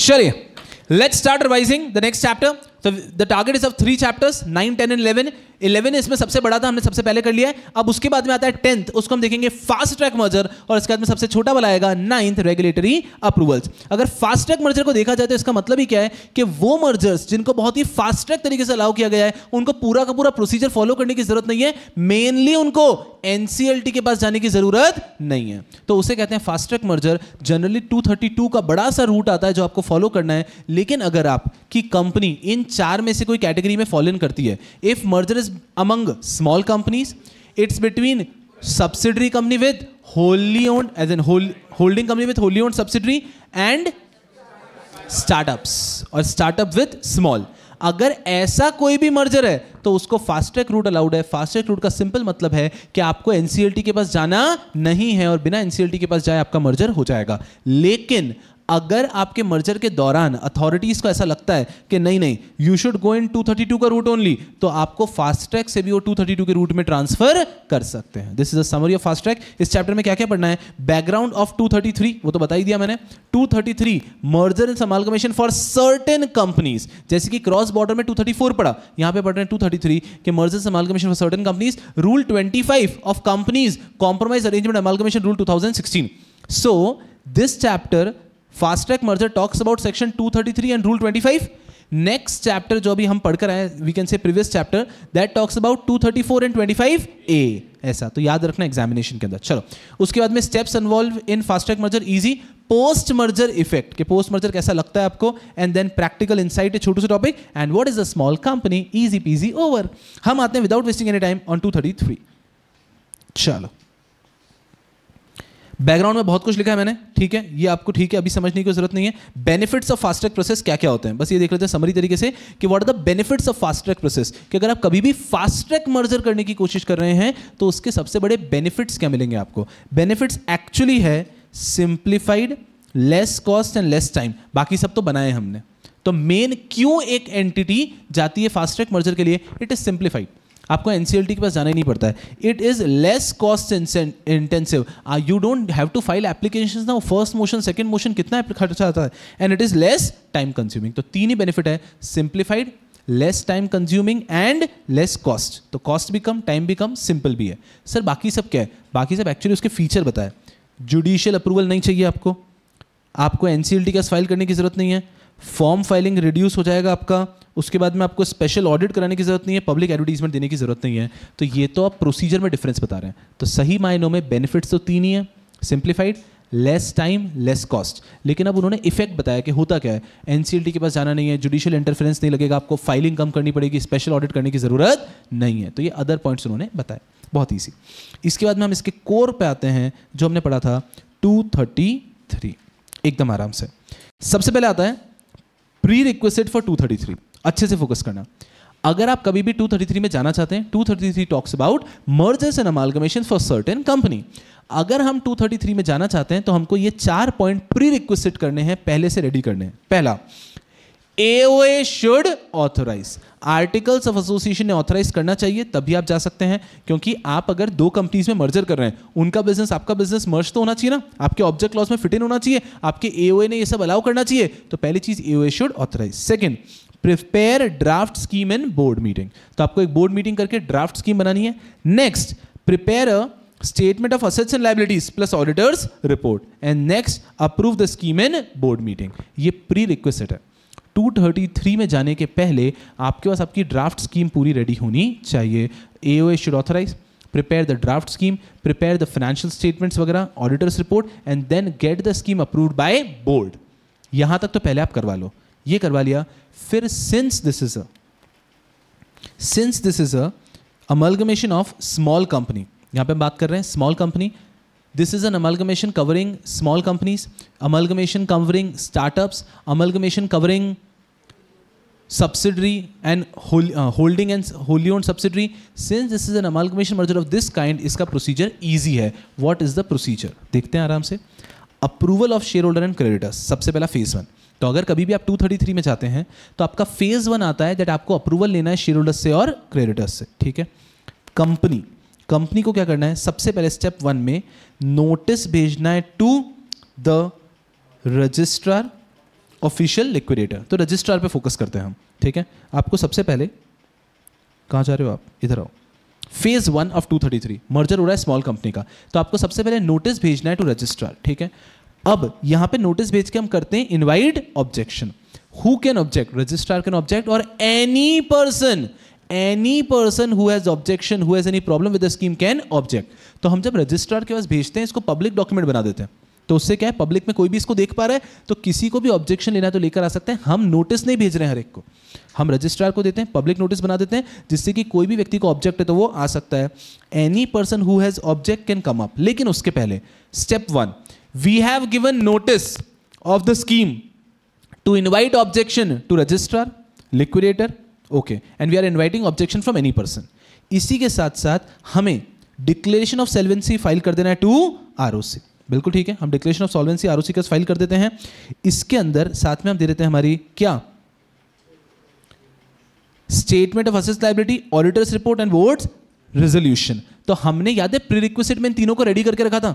दैट वॉज़ लाइक प्रेपरेशन तो पहले से हमने बोर्ड रेजोल्यूशन पास करके रखा था statement of assets and liability and auditor report वो पहले से बना के रखा था, क्योंकि वो यहाँ पर हमको देना था। तो स्टेप टू के अंदर हमने डिक्लेरेशन ऑफ़ सॉल्वेंसी दे दी आरओसी को। This we have given in C A ten तो सी ए टेन के अंदर डिक्लेरेशन ऑफ़ सॉल्वेंसी को फ़ाइल कर चुके हैं। इसमें हमने बोर्ड रेजोल्यूशन से अप्रूवल ले लिया है। हमने स्टेटमेंट्स ऑफ़ सारे असेट्स लाइबिलिटी दे दी और ऑडिटर रिपोर्ट भी दे दिया तो वी आर ऑल सॉर्टेड ये सब हमने दे दिया, साथ में हमने नोटिस भी दे दिया। अब हम वेट कर रहे थे किसका? उनके ऑब्जेक्शंस का। They have raise the objection अब उनके ऑब्जेक्शन सजेशन थे, जो भी स्टेप थ्री के अंदर आ गए, मस्ती से। नाउ कंपनी को क्या करना है? कंपनी को अप्रूवल लेना है अपने शेयर होल्डर्स का। तो उसके लिए स्टेप फोर के अंदर they be conducting a general meeting general meeting जब कर रहे हैं वो, तब उनको सी ए नाइन के अंदर क्या क्या डिटेल्स भेजने हैं? Copy of the scheme scheme की copy shareholding pattern pre and post उसके बाद में आपको देना है, पिछले पाँच, पिछले तीन सालों के annual financial statements memorandum of association articles of association board resolution valuation report and वापस डिक्लेरेशन ऑफ़ सॉल्वेंसी ये सारी चीज़ें कहाँ गायब हाँ ये सारी चीज़ें आपने देनी है अपने शेयर होल्डर्स को और उनसे बोलना है कि आप अप्रूवल दे दो। अब अच्छे समझना। जनरल मीटिंग और मीटिंग ऑफ़ क्रेडिटर्स ये दोनों का अप्रूवल लेना है। दोनों को आपको देना है ट्वेंटी वन डेज़ का नोटिस जनरल मीटिंग को तो आप हमेशा देते हो, लेकिन यहाँ पे नई चीज़ ये पढ़ रहे हैं, हम क्रेडिटर्स को भी देंगे ट्वेंटी वन क्लियर डेज़ का नोटिस क्रेडिटर्स को दे दिया and then we have to take approval देखो क्या कह रहे हैं? Nine tenth of the creditors and value should approve three fourth three fourth नहीं नाइन टेंथ शुड अप्रूव क्योंकि हम एनसीएलटी के पास नहीं जा रहे ना तो आपका तो हमको प्योर अप्रूवल चाहिए. Nine tenth of the creditor should approve ninety percent of the total share should approve only then we can go ahead to phase two नहीं, कोई जल्दबाजी नहीं. एकदम आराम से.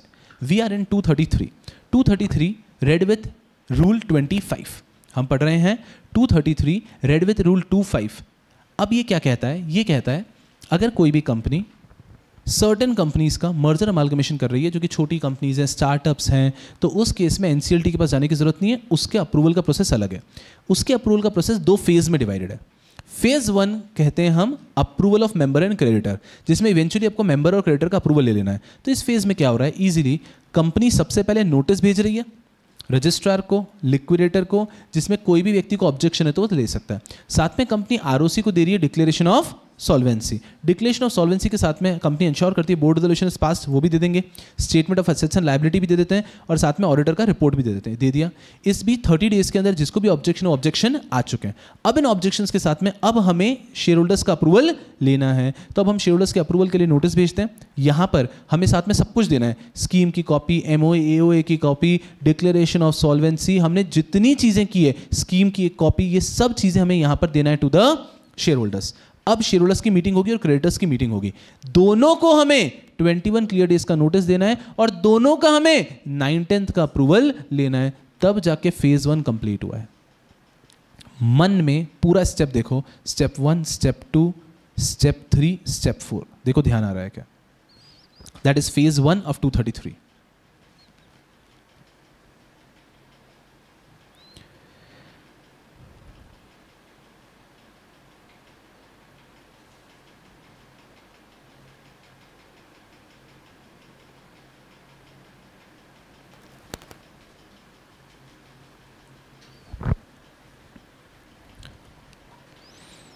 समझ में आ रहा है? एक बार लास्ट टाइम वापस करते हैं। चलो, सबसे पहले यहाँ पे टू अरे आप समझो, हम पेपर भी इतनी बार देखें, उनका सेक्शंस पे बहुत ही फोकस है तो हमें बहुत ही केयरफुल रहना है, जहाँ पे भी 234 पे भी केयरफुल था 233 पे भी केयरफुल रहना है। 233 के अंदर हमारा मालगमेशन हो रहा है छोटी छोटी कंपनीज़ का। तो उसके अंदर प्रोसेस के अंदर फ़ेज़ वन है, हमें क्रेडिटर और शेयर का अप्रूवल लेना है। उसके अंदर जो भी कंपनी है what is the company doing company को सबसे पहले नोटिस दे भेजना है inviting the objection to the registrar official liquidator और कोई भी व्यक्ति ऑब्जेक्ट कर सकता है इस नोटिस के माध्यम से, उनके पास थर्टी डेज़ है। साथ ही साथ हमको डिक्लेरेशन ऑफ़ सॉल्वेंसी फ़ाइल करना है आरओसी के पास। इसके अंदर साथ में जो हमने प्रीरिक्वेस्ट किए थे ना, वो सब रेडी करके रखे थे कि हमने बोर्ड रेजोल्यूशन पास कर रखा था स्टेटमेंट ऑफ़ असेट लाइबिलिटी और साथ में हमने ऑडिटर्स रिपोर्ट ये भी दे दिया डन ना उनके ऑब्जेक्शन आ गए, उसको एड्रेस कर दिया, हमने स्कीम में इनकॉर्पोरेट कर दिया। अभी जो फाइनल स्कीम बनी है, ये एम ओ ए हमारे डिक्लेरेशन ऑफ़ सॉल्वेंसी सारे रिक्वेस्टेड डॉक्यूमेंट्स हमने फ़ाइल कर दिए टू शेयर होल्डर्स कि ये सब देख के अपना अप्रूवल दे दो।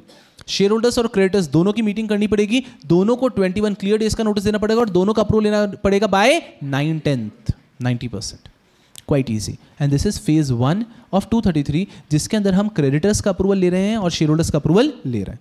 ना when this is done then we move towards phase two phase two के अंदर क्या हो रहा है? Confirmation by central government since since NCLT का अप्रूवल नहीं लेना है तो हमको किसी का अप्रूवल तो लेना पड़ेगा? तो अप्रूवल आता है सेंट्रल गवर्नमेंट का। और सेंट्रल गवर्नमेंट ने अपना काम किसको डेलीगेट कर दिया है?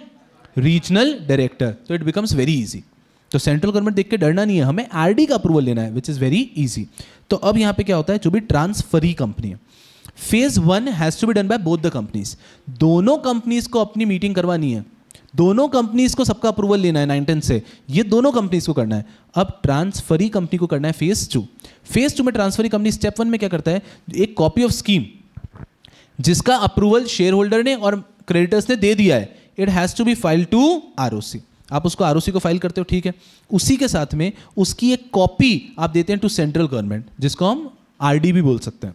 तो हमने सबसे पहले कॉपी ऑफ़ स्कीम आरओसी के पास भी फ़ाइल कर दी और कॉपी ऑफ़ स्कीम हमने आरडी के पास भी दे दी that is step one R R को इस पर कोई ऑब्जेक्शन तो नहीं है। तो आरओसी हमें नेक्स्ट स्टेप देता है नो no ऑब्जेक्शन कि सर हमें आपसे कोई भी ऑब्जेक्शन नहीं है। उसके बाद में आता है स्टेप थ्री स्टेप थ्री कहाँ गया? स्टेप वन दो बार लिख दिया क्या मैंने? स्टेप फोर दो बार हो गया क्या? हाँ इन्फॉर्म एकदम आराम से। चलो, हम हाईलाइटर यूज़ करते हैं तो इजी हो जाएगा हमारे लिए। सबसे पहले हम यहाँ से यहाँ तक जा रहे हैं। Let's keep it very simple तो आपने शेयर होल्डर्स का अप्रूवल ले लिया क्रेडिटर्स का अप्रूवल ले लिया। आप भी ले जाके फ़ाइल कर दिए आरओसी के पास ओके साथ ही साथ आपने इसकी कॉपी दे दी किसको? सेंट्रल गवर्नमेंट को। भी और ओके अब हम वेट कर रहे थे कि आर को, हमसे कुछ परेशानी तो नहीं होगी।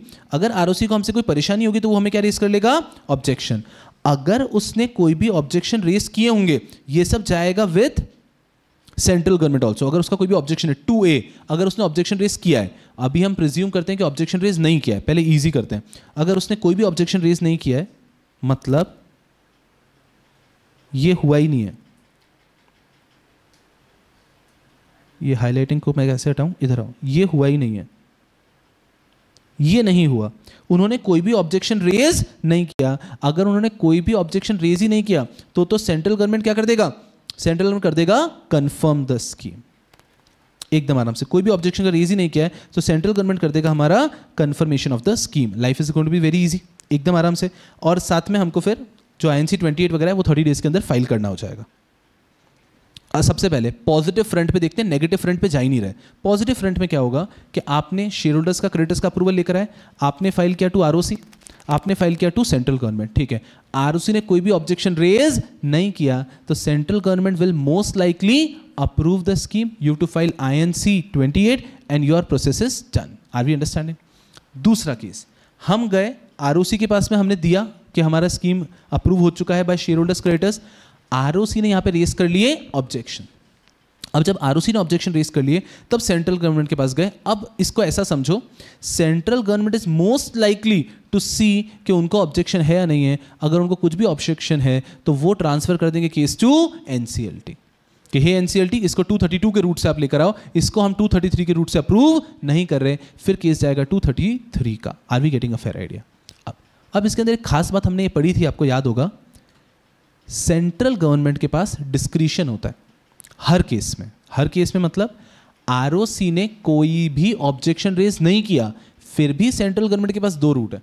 सेंट्रल गवर्नमेंट या तो अप्रूव कर देगा, या सेंट्रल गवर्नमेंट फिर भी उसको सेंड कर सकता है टू एनसीएलटी आरओसी ने ऑब्जेक्शन रेज किया फिर भी सेंट्रल गवर्नमेंट के पास दो रूट है, कि सेंट्रल गवर्नमेंट अप्रूव कर सकता है और सेंट्रल गवर्नमेंट भेज सकता है टू एनसीएलटी ये तो कुछ भी नहीं हमने ये भी पढ़ा था एनसीएलटी के पास जाने के बाद भी एनसीएलटी के पास में भी दो ऑप्शन है। एनसीएलटी फिर भी वापस दे सकता है कि नहीं, हमें तो लगता है प्राइमा फेसी अप्रूव करता है। हमें इसको टू के रूट में नहीं भेजना है। NCLT can send it back कि नहीं नहीं, इसको टू में अप्रूव करो। या फिर अगर एनसीएलटी को लगता है कि नहीं हाँ इसको टू के रूट से ले जाना है, तब वो इसको टू के रूट से लेके जाएगा। डू यू रिमेंबर और एक बार अगर सेंट्रल गवर्नमेंट ने either of the case approve कर दिया कि हाँ it is approve then central government order करता है आरओसी को to register the scheme scheme को रजिस्टर करना है कहाँ पे? स्कीम रजिस्टर की जाएगी। उसका मेन इफ़ेक्ट क्या होगा स्कीम का? सबसे मेन इफ़ेक्ट तो होगा कि transferor company will be dissolve और अदर एस्पेक्ट क्या होंगे? जैसे आप हमेशा पढ़ते हैं कि assets of transferor will be transfer to transferee liability of transfer will be transferred litigation जो केसेस हैं, वो भी ट्रांसफ़र हो जाएँगे. And liability to pay dissenting shareholders जो है, वो भी होगा ट्रांसफरी के ऊपर. और ये है पूरा का पूरा इफ़ेक्ट एकदम आराम से. कन्फ्यूजिंग सा लग रहा है. कन्फ्यूजिंग है नहीं. बहुत ईजी है. हम बात करते हैं 233 की. 233 रेड विथ रूल 25 चल रहा है. 233 रेड विथ 225 क्या कहता है? अगर कभी भी मर्जर हो रहा है between who all between small companies between a holding company and its wholly owned subsidiary between startups and between small company and startup तो ये चार पॉइंट बन जाते हैं। इनके बीच में अगर कभी भी मर्जर हो रहा है तो 233 का रूट अलाउड है। 233 का रूट क्या कहता है? दो फेजेस में आपको अप्रूवल मिलेंगे। Phase one you to obtain creditors and shareholders approval phase two you to obtain approval from central government phase one पे आते हैं। वापस, सर, ये याद हो गया। कोई बात नहीं। कंपनीज़ को नोटिस देना है आर को और ऑफिशियल लिक्विडेटर को और कोई भी व्यक्ति यहाँ पे ऑब्जेक्ट कर सकता है। साथ में कंपनी को डिक्लेरेशन ऑफ़ सॉलेंसी फ़ाइल करना है आरओसी के पास with the required documents objection आ गया अगर तो उसको हमें इनकॉर्पोरेट करना है स्कीम के अंदर, नहीं आया तो वंडरफुल फिर ये जो स्कीम बनी है, इसको विद ऑल द डॉक्यूमेंट्स हमें देना है to shareholders and creditors shareholders और क्रेडिटर्स को देना है ट्वेंटी वन क्लियर डेज़ का नोटिस मीटिंग कंडक्ट करनी है नाइन टेंथ नाइन्टी परसेंट का अप्रूवल लेना है। Phase one is over we good here चलो phase two central government approval now we go to ROC again ROC को भी copy देते हैं सेंट्रल गवर्नमेंट को भी कॉपी देते हैं। आरओसी को कोई ऑब्जेक्शन है क्या? आरओसी का ऑब्जेक्शन है तो वो रेस कर लेगा इस टाइम पे? नहीं है तो वंडरफुल अब केस जा चुका है सेंट्रल गवर्नमेंट के हाथ में। Central government is delegated to this to RD अब केस जा चुका है आरडी के हाथ में। आरडी विल डिसाइड कि इनको अप्रूव करना है या फिर इनको 232 के रूल के लिए एनसीएलटी के पास फॉरवर्ड करना है। अगर उन्होंने अप्रूव कर दिया तो they will send a notification to the company as well as ROC ROC क्या करेगी? आरओसी अब हमारे इस मर्जर को इफ़ेक्ट दे देगी। The best effect is transfer company dissolve हो जाएगा। एंड फर्दर इफ़ेक्ट इज़ सारे assets and liabilities of transfer will be transfer to transferee बिल्कुल ठीक है, ये उसका डिटेल इफ़ेक्ट हो जाएगा। इजी पीजी ओवर एनसीएलटी के पास अगर फॉरवर्ड किया है तो एनसीएलटी भी डिसाइड करता है कि उसको क्या करना है। If NCLT is of the opinion that नहीं, इसको हमें 232 से लेके जाना है तो वो 232 से लेके जाएँगे, और इफ़ एनसीएलटी फील्स के नहीं, ये 233 में होना चाहिए तो वापस आरडी के पास भेज सकते हैं। ये सब होने के बाद में कंपनी को I N C twenty eight जो है, वो फ़ाइल करना होता है आर ओ सी के पास। And that's it this is 233 इस पूरे चैप्टर में सिर्फ़ यही है जो पढ़ने का है। और एग्ज़ाम में भी हम कितना भी इधर उधर की बातें पढ़ लें कि बेनिफिट्स क्या है, ये सब क्या है, हम पेपर में देखते हैं कि हमेशा उनका फोकस कहीं ना कहीं रेगुलेशन लॉ के आसपास ही घूम रहा है। तो इस पर हमें एक्स्ट्रा फोकस करना है and this is all about fast track तो अगर हम बात करते हैं फास्ट ट्रैक की बैकग्राउंड इज़ ईजी उसके बाद में टू थर्टी थ्री आया टू रूल ट्वेंटी फाइव आया, फिर आता है steps involve in fast track merger अब अगर मैं स्टेप्स के ऊपर आ जाता हूँ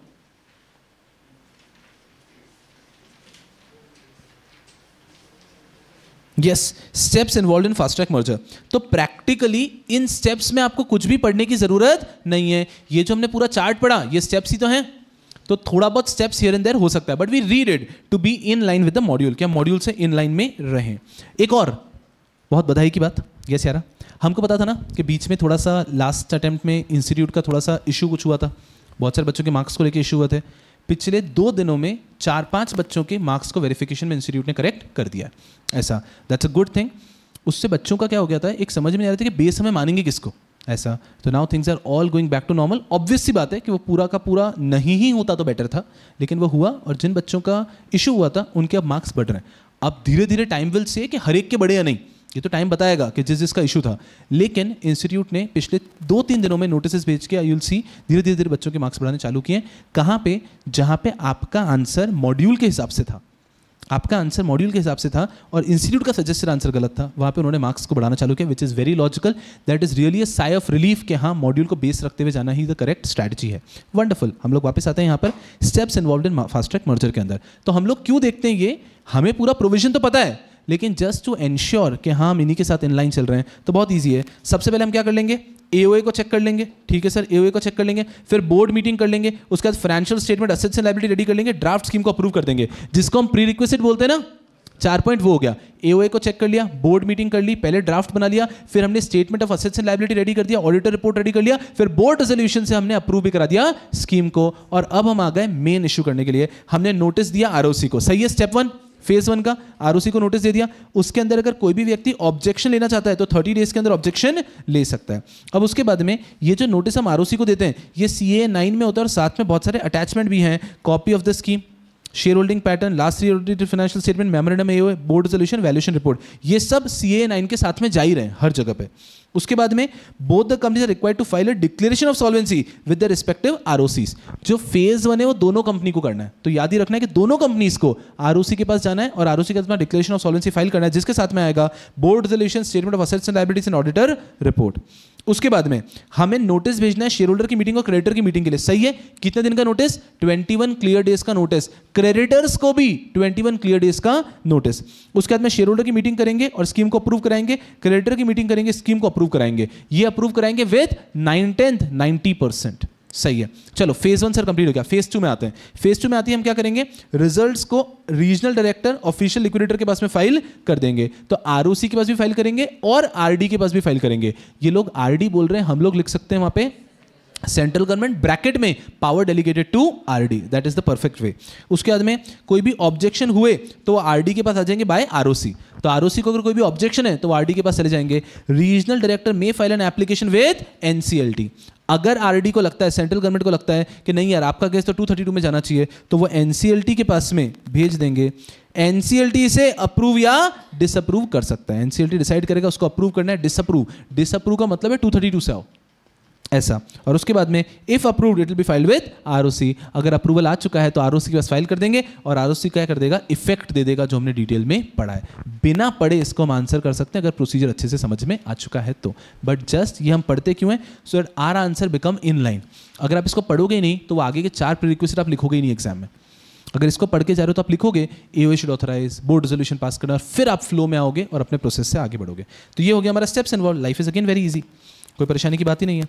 ये हो गया हमारा background section 233 rule 25 steps involve and उसके बाद में आ जाते हैं post merger effect practical insight and small company I don't think I to teach you what is a small company here but फिर भी अगर पूछना ही चाहते हो आप small company refers to a company जिसका paid up capital does not exceed इन्होंने कह दिया 50 लाख जिसका turnover does not exceed 2 crore और सच हायर लिमिट विच में extend up to hundred crore and ten crore हमें ये दिया है, हमें कोई लोड लेने की ज़्यादा बात नहीं है। स्मॉल कंपनी वर्स्ट केस में भी एग्ज़ाम में आना नहीं चाहिए। हमें बस ये पता होना चाहिए कि स्मॉल मुझे बताओ, क्या पब्लिक कंपनी स्मॉल कंपनी हो सकती है क्या?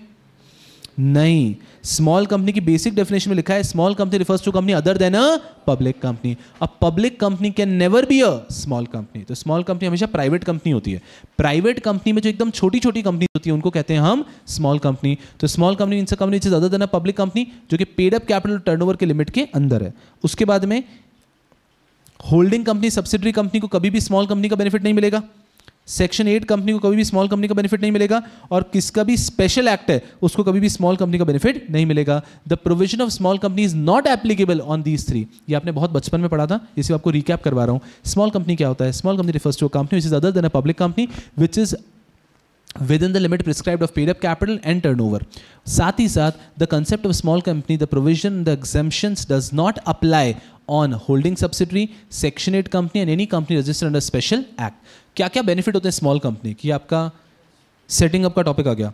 कि एनुअल रिटर्न जो है स्मॉल कंपनी वो उसका सीएस या डायरेक्टर कोई भी साइन कर सकता है। अदरवाइज़ दोनों से साइन कराना पड़ता है। बोर्ड मीटिंग साल में सिर्फ़ कितनी करनी है? दो करनी है। कैश फ्लो स्टेटमेंट बनाओ ही मत। और रोटेशन ऑफ़ ऑडिटर भी आप मत करो। You not require to rotate auditors simple तो ऐसे फुद्दू फुद्दू से हैं। अगर एग्ज़ाम में आ जाते हैं तो बहुत ज़बरदस्त बात हो जाएगी। आई डोंट बिलीव कभी भी आना चाहिए। और इसके बाद में लास्ट के दो टॉपिक्स दिखते हैं हमको। पोस्ट मर्जर इफ़ेक्ट कि क्या क्या मर्जर के बाद के रिज़ल्ट हो सकते हैं। दिमाग को अच्छे से समझना। पिछला चैप्टर था क्रॉस बॉर्डर उसका इससे कोई रिलेशन नहीं है। ये है स्मॉल कंपनीज़ का मर्जर राइट तो अभी कह रहे हैं कि इस मर्जर के बाद में क्या इफ़ेक्ट हो सकता है? The transferor company shall stand dissolve कुछ बोलने की ज़रूरत ही नहीं है कि ट्रांसफ़र कंपनी डिजॉल्व हो जाएगी। वाइंडिंग अप की भी ज़रूरत नहीं पड़ेगी, सीधा स्ट्राइकिंग ऑफ़ हो जाएगा। क्यों सर अरे वाइंडिंग अप तो तब करते हैं ना जब असेट्स को आपको बेचना होता है। सारे असेट्स तो ट्रांसफ़र ही कंपनी ले लेगा। तो जब भी मर्जर एंड अमालगमेशन होता है, आपको वाइंडिंग अप नहीं करना है। डायरेक्टली क्या होता है? डिसोल्यूशन मैं क्या बोल रहा हूँ, समझ रहा है ना? वाइंडिंग अप तब होता है जब आपको कंपनी के असेट्स को बेचना है। The assets are taken over by transferee company तो you can directly go ahead with striking off तो डायरेक्टली डिसोल्यूशन होता है। उसके बाद में same all the assets and liability of transfer company will be transfer to transferee company जो भी charges हैं they will also be transferred and सारे जो सोशल सिक्योरिटी बेनिफिट्स है, वो भी ट्रांसफ़र हो जाएँगे ट्रांसफरी कंपनी में। सोशल बेनिफिट क्या कहते हैं? मान लीजिए इंप्लॉइज थे ट्रांसफरर कंपनी के। उनका ग्रेचुटी उनका पीएफ उनका ईसॉप्स जो भी चल रहे थे आपके ट्रांसफरर में वो आपका कंटिन्यू किया जाता है ट्रांसफरी में। यहाँ तक कि आपको याद होगा, आपने पढ़ा भी था। मान लीजिए ईसॉप चल रहे हैं मेरे ट्रांसफरर के। वहाँ पे वेस्टिंग पीरियड मैंने आधा कंप्लीट भी कर लिया है। तो मुझे ट्रांसफरी में आके सिर्फ़ रिमेनिंग वेस्टिंग पीरियड को कंप्लीट करना होगा।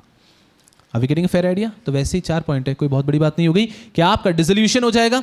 ट्रांसफ़र के सारे असेट्स इधर से इधर हो जाएँगे चार्ज इधर से इधर हो जाएँगे, और जो भी सोशल सिक्योरिटी है बेनिफिट्स ऑफ़ एम्प्लॉयज़ वो भी ट्रांसफ़र हो जाएगा विद ट्रांसफरी कंपनी और उसके बाद में प्रैक्टिकल इंसाइट इन्होंने ऐसे ही बताया आपको that fast track merger important है। हमें ध्यान रखना होगा, जब भी फास्ट ट्रैक सॉरी जब भी हाँ फास्ट ट्रैक मर्जर हम कर रहे हैं इन चीज़ों का ध्यान रखना है कि क्या मर्जर सच में बेनिफिशियल है या नहीं है। ऐसा। अरे कभी कभी कुछ लोग बड़े फुद्दू होते हैं। वो ये सोचते हैं कि यार एनसीएलटी का अप्रूवल चाहिए ही नहीं ईजिली हो रहा है तो कर लेते हैं। अरे, पहले ये तो सोचो कि बेनिफिशियल है या नहीं है। ऑब्वियसली आपको मान लीजिए कोई चीज़ ऑनलाइन सेल में 50 परसेंट पे मिल रही है। अरे 50 परसेंट अरे ये तो देखो कि आपको चाहिए या नहीं चल रही है। सिर्फ़ 50 पे मिल रही है, इसलिए लेने का कोई सेंस नहीं बनता है। तो सेइंग कि you should consider fast track merger easy process है, ठीक है। पर बेनिफिशियल हो तो ही आपको एंटर करना है। लॉजिकल ईजी उसके बाद में आपको ड्यू डिलीजेंस अच्छे से करना चाहिए।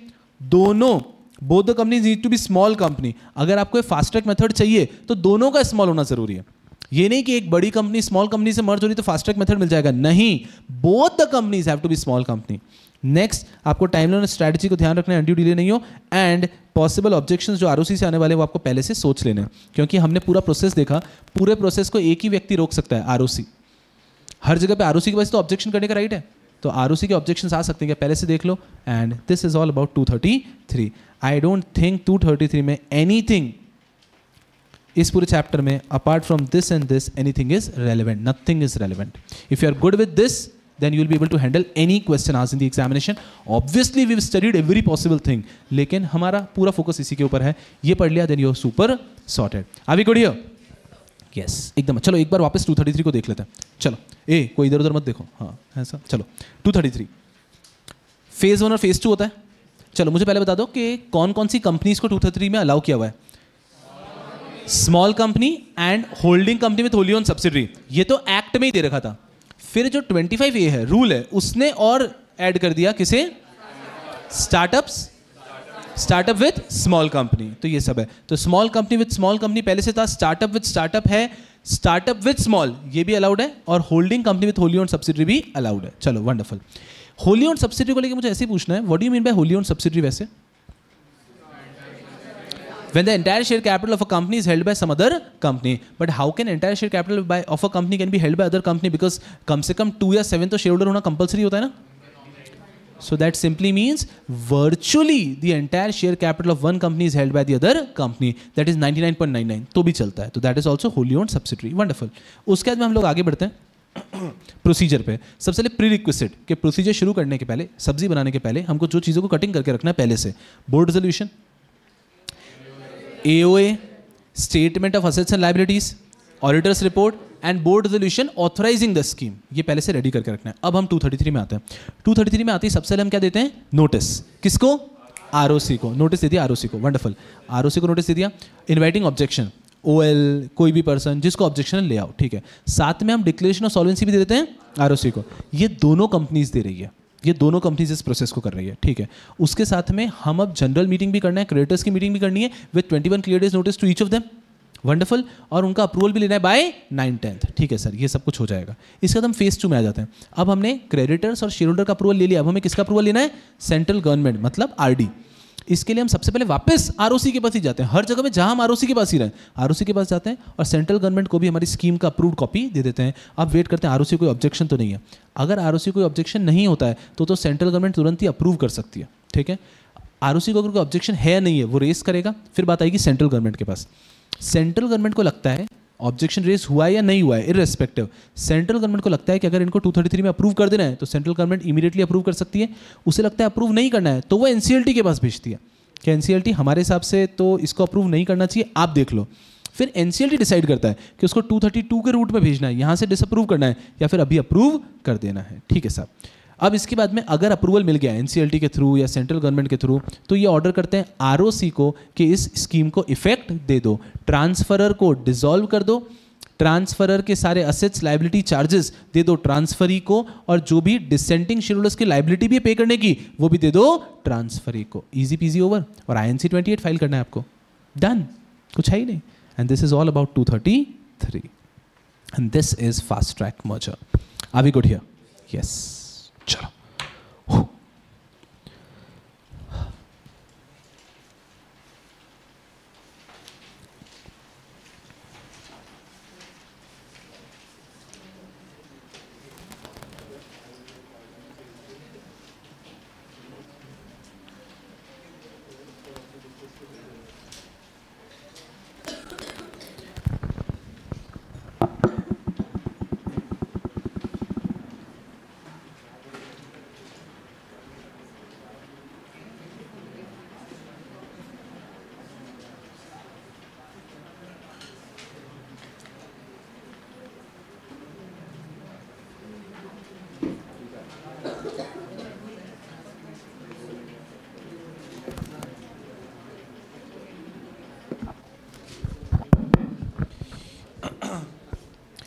चलिए यारों let's not waste any time further एक छोटू सा चैप्टर है इस चैप्टर कंप्लीट कर लेंगे और हमारा नाइन टेन और इलेवन तूफ़ान तरीके से यहाँ पे हो जाता है कंप्लीट अब अगर हम बात करते हैं about this chapter this is simply regulatory approvals regulatory approvals क्या बात करता है? रेगुलेटरी अप्रूवल्स बात करता है कि अगर आपकी कंपनी एक नॉर्मल कंपनी तो, तो ठीक है उसे 232 को फॉलो कर दिया होगा. बट अगर आपकी कंपनी एक लिस्टेड कंपनी है तो क्या एडिशनल कंप्लायंस है? अगर आपकी कंपनी एक बैंकिंग कंपनी है तो क्या एडिशनल कंप्लायंस है? उसमें एनबीएफसी है तो क्या एडिशनल कंप्लायंसेज है? अगर आपकी कंपनी एक टेलीकॉम कंपनीज़ है तो क्या एडिशनल कंप्लायंस है? अगर आपकी कंपनी एक इंश्योरेंस कंपनी है तो क्या एडिशनल कंप्लायंस है? मस्ती में। दिस इज़ अनदर चैप्टर जो कि एकदम नॉन कोर चैप्टर है, लेकिन it can waste a lot of time तो इसको भी आपको सही समय के अंदर रिवाइज करना इज़ वेरी इंपॉर्टेंट इसमें सबसे इंपॉर्टेंट है आपका लिस्टेड वाला पार्ट कि अगर आपकी कंपनी एक लिस्टेड कंपनी है तो क्या एडिशनल कंप्लायंसेज है? फिर आता है बैंकिंग वाला पार्ट कि अगर आपकी कंपनी एक बैंकिंग कंपनी तो क्या एडिशनल कंप्लायंसेज है? विदाउट वेस्टिंग एनी टाइम इसको शुरू करते हैं। अगर मैं चैप्टर का ओवरव्यू बताऊँ तो ओवरव्यू बस यही है। Regulatory approval for merger and amalgamation of listed company banking company insurance company and telecom company चलिए लिस्टेड पे आते हैं हम लोग सिंपल। लिस्टेड कंपनी अगर मैं वन वर्ड में बताऊँ कि भाई ये सब छोड़ो वन वर्ड में तो वन वर्ड में इतना सा आता है वन वर्ड मतलब वन लाइन में। वन लाइन में अगर मैं बताऊँ तो इतना सा आता है कि अगर एक कंपनी लिस्टेड कंपनी है तो उसको अपनी स्कीम एनसीएलटी के पास फ़ाइल करने के पहले स्टॉक एक्सचेंज के पास फ़ाइल करना है, बस। वन लाइन कि आपको जो आपने एग्जीक्यूटिव में इवेंट बेस्ड कंप्लाइंसेस में पढ़ा भी था, कि अगर आपको कोई भी स्कीम फ़ाइल करनी है तो आपको उसको एनसीएलटी कोर्ट के पहले फ़ाइल करना होगा टू स्टॉक एक्सचेंज बस वही है, उसको डिटेल में पढ़ेंगे हम।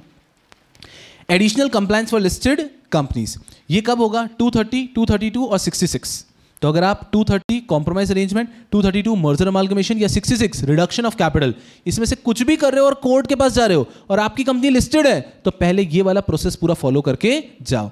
This is given under regulation number 94 and 37 of LODR LODR का रेगुलेशन नंबर 94 और रेगुलेशन नंबर 37 बात करता है अबाउट दिस प्रोसेस एकदम ईजी क्या होगा? सबसे पहले हम लोग बात कर देते हैं ईजी कि लिस्टेड कंपनी को क्या करना है? Under regulation number 37 listed company अगर कभी भी एनसीएलटी के पास जाना चाहती है अंडर 230, 232 या 66 उसके पहले लिस्टेड कंपनी को ड्राफ्ट स्कीम और फ़ीस देना है स्टॉक एक्सचेंज को। लिस्टेड कंपनी को ड्राफ्ट स्कीम और फ़ीस देना है स्टॉक एक्सचेंज को। स्टॉक एक्सचेंज उसको देगा बहुत ही जल्द। एक नो ऑब्जेक्शन लेटर वो नो ऑब्जेक्शन लेटर लेते हुए ही उसके बाद ही वो जाएगा टू एनसीएलटी एकदम सिंपल और उसके बाद में भी एनसीएलटी ने जब अप्रूवल दे दिया, उसके पूरे डिटेल्स वो अपडेट करता रहेगा to stock exchange this is given under regulation number thirty seven of L ODR regulation very easy it simply says whenever listed entity is entering into a merger amalgamation compromise arrangement और reduction of capital they will have to first prior to filing it to NCLT they have to first file the scheme with fees to stock exchange. Stock exchange will give them no objection certificate and only then no objection letter and only then they can go ahead with NCLT का approval. After that also NCLT ने approval दिया कब किया क्या किया इसे आपको update करते रहना है stock exchange को. This is regulation number 37. Very easy. ठीक है इसमें लिखा है it is not applicable on holding company merging with wholly owned subsidiary and amalgamation arrangement merger as per a resolution plan तो अगर आपका रेजोल्यूशन प्लान अंडर आईबीसी उस कारण से भी मर्जर हो रहा है और होल्डिंग कंपनी का हो रहा है होली ओन सब्सिडरी से, इस केस के अंदर आपको ये फॉलो करने की ज़रूरत नहीं है। ठीक है this is regulation number thirty seven अब आते हैं regulation number ninety four backend पे क्या होता है ये बताओ सर। हमने एक लिस्टेड एंटिटी ने जैसे ही स्टॉक एक्सचेंज को फ़ाइल कर दिया कि, हे स्टॉक एक्सचेंज ये हमारा ड्राफ्ट स्कीम अप्रूवल दे दो। स्टॉक एक्सचेंज को, वो ड्राफ्ट स्कीम को पढ़ना होता है, पूरा ड्राफ्ट स्कीम पढ़ा। उस ड्राफ्ट स्कीम के ऊपर अपना नो ऑब्जेक्शन लेटर बना दिया। ये कंपनी को देने के पहले stock exchange gives it to SEBI and law says stock exchange has to file the draft scheme along with no objection letter to SEBI within 30 days from receiving the draft scheme. अभी यही देखो बस, ठीक है? तो मैं stock exchange हूँ। जैसे ही मुझे कंपनी से ड्राफ्ट स्कीम मिली, तीस दिन है मेरे पास, उस पर मैंने नो ऑब्जेक्शन लेटर बना दिया और तीस दिन में मुझे कंपनी को रिटर्न नहीं करना है।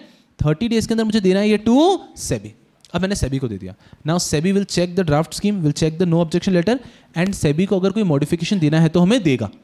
अगर सेबी ने कोई मॉडिफिकेशन दिया तो वंडरफुल नहीं दिया तो हम स्टॉक एक्सचेंज उसके बाद में ये draft scheme along with no objection letter we can file it to the company अब हम कंपनी को दे सकते हैं। तो स्टोरी बहुत आसान है। स्टोरी बहुत आसान कैसी है? सबसे पहले रेगुलेशन नंबर 37 ये कहता है कि लिस्टेड एंटिटी जब भी एनसीएलटी के पास जाने वाला है। उसके पहले लिस्टेड एंटिटी को फ़ाइल करना है स्टॉक एक्सचेंज के पास। अब ये तो हो गया। अब 94 क्या कहता है? 94 कहता है कि स्टॉक एक्सचेंज को जब भी मिला स्टॉक एक्सचेंज को फ़ाइल करना है ये सेबी के पास। तो स्टॉक एक्सचेंज के पास यहाँ पर आया था ड्राफ्ट स्कीम इस ड्राफ्ट स्कीम पे अपना नो ऑब्जेक्शन लेटर बना दिया है। ये उसको देना है सेबी को। अब सेबी को इस पर अगर कोई भी मॉडिफिकेशन देने हैं तो सेबी देगा और उसके बाद ही स्टॉक एक्सचेंज देगा अपना no objection letter to listed entity और उसी के बाद listed entity can go to NCLT are we understanding process बहुत ईजी है and this involve two regulation of L O D R thirty seven and 94 very easy अब यहाँ पे timeline क्या है उसको ध्यान देते समझना। टाइमलाइन कहती है स्टॉक एक्सचेंज को सेबी के पास ये नो ऑब्जेक्शन लेटर और ड्राफ्ट स्कीम दे देना है within thirty days from the date of filing draft scheme to stock exchange stock अच्छे समझना, सब लोग यहाँ पे आ जाओ, है ना? इसमें थोड़ा सा ट्रिकी पॉइंट है। इजी है बट थोड़ा सा ट्रिकी है। जिस दिन स्टॉक एक्सचेंज को ड्राफ्ट स्कीम मिला, उसके 30 डेज़ के अंदर ड्राफ्ट स्कीम और नो ऑब्जेक्शन लेटर उसको फ़ाइल कर देना है टू सेबी ओके बट मान लेते हैं कि जब ड्राफ्ट स्कीम और नो ऑब्जेक्शन लेटर बना रहा था स्टॉक एक्सचेंज तब उसको कुछ क्वेरीज आ गए। तो वो क्वेरीज रेस करता है टू लिस्टेड कंपनी कि हे लिस्टेड कंपनी इन क्वेरीज का आंसर दो आपने जो स्कीम में लिखा है। जिस दिन लिस्टेड कंपनी ने उन क्वेरीज का आंसर दिया सेटिस्फैक्टरी आंसर दिया, वहाँ से सेवन डेज़ के अंदर then stock exchange has to give a draft has to give the no objection letter and the draft scheme to SEBI और अगर स्टॉक एक्सचेंज को कुछ समझ नहीं आ रहा है इसके अंदर। And they need a chartered accountant's opinion they can hire a chartered accountant for the opinion उस चार्टेड अकाउंटेंट ने जब ओपिनियन दिया स्टॉक एक्सचेंज को, उसके सात दिन के अंदर stock exchange has to file this with SEBI तो क्वेश्चन टाइमलाइन का बस यहीं पर है कि ये जो नो ऑब्जेक्शन लेटर जाता है सेबी के पास, ये कितने दिनों में जाएगा? तो अब मैं अगर इसको पूरा कंबाइन करके बोलूँ तो it will go within thirty days from the date of filing of draft of a document to stock exchange और within seven days from receiving satisfactory reply from the listed entity और within seven days from chartered accountant's opinion if asked by stock exchange इन सात दिन में या thirty days में जो भी case बनता है, उसके अंदर आपको नो ऑब्जेक्शन लेटर देना to SEBI.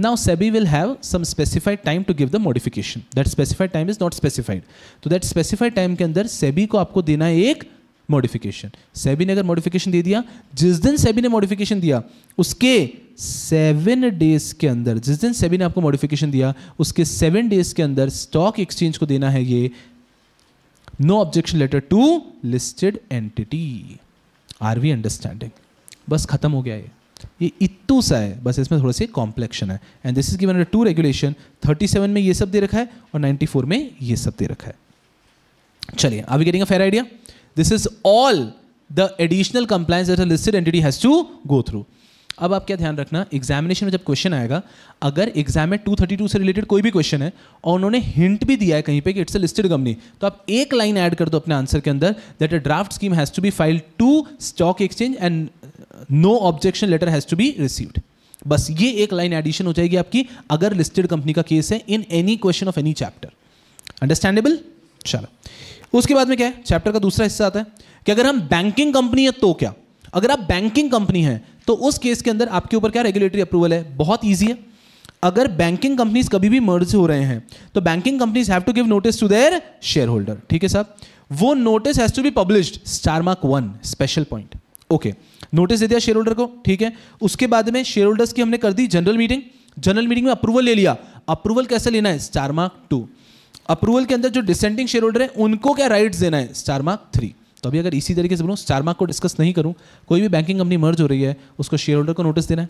शेयर होल्डर्स की जनरल मीटिंग करनी है, उनका अप्रूवल लेना है, और ये अप्रूवल किया हुआ किसके पास फ़ाइल करना है? आरबीआई क्योंकि बैंकिंग कंपनी है आरबीआई के पास फ़ाइल करना है। आरबीआई अगर अप्रूवल दे देगा तो बात खत्म। Property and liability of amalgamating company will be transfer to amalgamated company और आरओसी के पास रजिस्टर कर देंगे डिजॉल्व हो जाएगा और स्ट्राइक ऑफ़ हो जाएगा। जब भी अमलगमेशन होता है तो वैसे भी वाइंडिंग अप तो होता ही नहीं है डायरेक्टली होता है डिसोल्यूशन तो ये बहुत ईजी हो गया। सर बैंकिंग कंपनी तो बहुत ईजी है। जी हाँ बहुत ईजी है। एक बार पूरा प्रोसेस वापस। आपको अगर बैंकिंग कंपनी के बीच में मर्जर करना है तो give a notice to shareholders you conduct their meeting take their approval thereafter file the approval with R B I R B I gives the approval stories over there are important three points to focus on first point notice का publication कैसे होता है? मुझे बताओ कैसे होता है? Once every week for three consecutive weeks in one in one national daily and one local newspaper तो टोटल छह पब्लिकेशन होंगे, ऐसे याद रखना है हमको। तो पब्लिकेशन के रूल अलग है इसके कि अगर आपकी बैंकिंग कंपनी है तो आपको पब्लिश करना है बैक टू बैक तीन बार। तीन बार बैक टू बैक पब्लिश करना है फॉर थ्री कॉन्सिक्यूटिव वीक्स और हर वीक दो न्यूज़पेपर में जाता है one national alien one local newspaper local language वाला। तो इस तरह से आपको पब्लिकेशन का स्पेशल पॉइंट आ गया। फिर आ गया अप्रूवल को लेकर approval of shareholders shareholders at the meeting should approve it in majority in number and two third in value The resolution for merger should be approved by majority in number and two third in value. Important point. उसके बाद में आ जाता है right of dissenting share holder जो भी लोगों ने मीटिंग में डिसेंटिंग वोट किया, या मीटिंग के पहले ही चेयरमैन को बता दिया था कि हम तो डिसेंटिंग ही वोट करने वाले हैं, उन सबको मिलेगी एक exit opportunity as per the value determine by RBI RBI will determine a value based on which exit opportunity to all the shareholders who have voted against the resolution will be made. And ये point के अलावा तो कुछ है ही नहीं, बात खत्म हो जाती है। Yes yes. इसके अंदर फिर आता है कि सर, अगर एनबीएफसी के साथ मर्जर हो रहा है तो क्या? अगर एनबीएफसी के साथ मर्जर होगा तो उनको तीन स्पेशल चीज़ों का ध्यान रखना है। अगर एनबीएफसी ने आरबीआई या सेबी के कोई भी नॉर्म्स को वायलेट किया है तो उनको इंश्योर करना है कि मर्जर के अप्रूवल के पहले वो सारे नॉर्म्स को करेक्ट कर दें सेकेंड एनबीएफसी को केवाईसी को कंप्लाई करना है। Know your client know your customer और लास्ट में, अगर एनबीएफसी का कोई लेंडर है एनबीएफसी ने किसी से पैसा बोरो किया हुआ है तो एनबीएफसी अपने लेंडर से भी अप्रूवल लेकर आएगा। ये है additional point for banking company banking company का एडिशनल पॉइंट है। रुक जाओ, आगे नहीं जाएँगे। पहले ये कंठस्थ हो जाना चाहिए। इस चैप्टर के चार हिस्से हैं। चारों को इक्वल प्रोमिनेंस नहीं दे सकते। पढ़ना सब कुछ है, लेकिन ये पहले दो हिस्सों को आपको दो से तीन बार अच्छे से कंठस्थ करना है, फिर आप जाओ इंश्योरेंस और टेलीकॉम इंश्योरेंस और टेलीकॉम आप बोनस पढ़ रहे हो, ऐसा समझो कि आप बहुत अच्छे बच्चे हो, अगर आप इंश्योरेंस और टेलीकॉम भी पढ़ रहे हैं तो। तो वो आगे की बात हुई। बट सबसे पहले हमें ये तो कंठस्थ होना चाहिए, क्योंकि ये एग्ज़ाम में काम आने की बहुत प्रबल संभावना है। चलो, हम समझते हैं।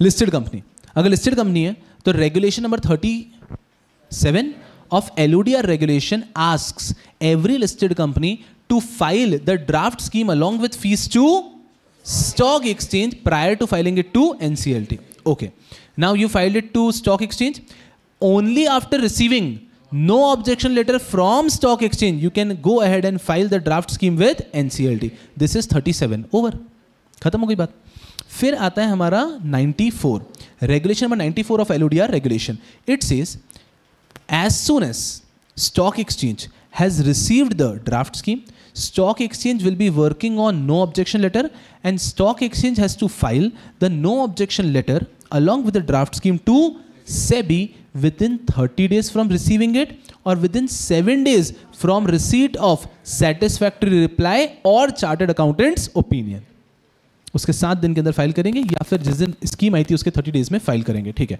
SEBI has a right to give modification then stock exchange within seven days from the receipt of modification from SEBI shall issue no objection letter to the company that is regulation number ninety ninety four are understanding easy peasy over फिर आते हैं banking company की बात करते हैं। Banking company अगर कभी भी मर्ज हो रहा है बैंकिंग कंपनी के बीच में तो banking companies have to give a notice to the shareholders this notice should be published in two newspapers every week for consecutive three weeks one national daily one local newspaper okay उसके बाद में you to conduct a general meeting and general meeting में you to take approval from your shareholders which are majority in number and two third in value. Wonderful.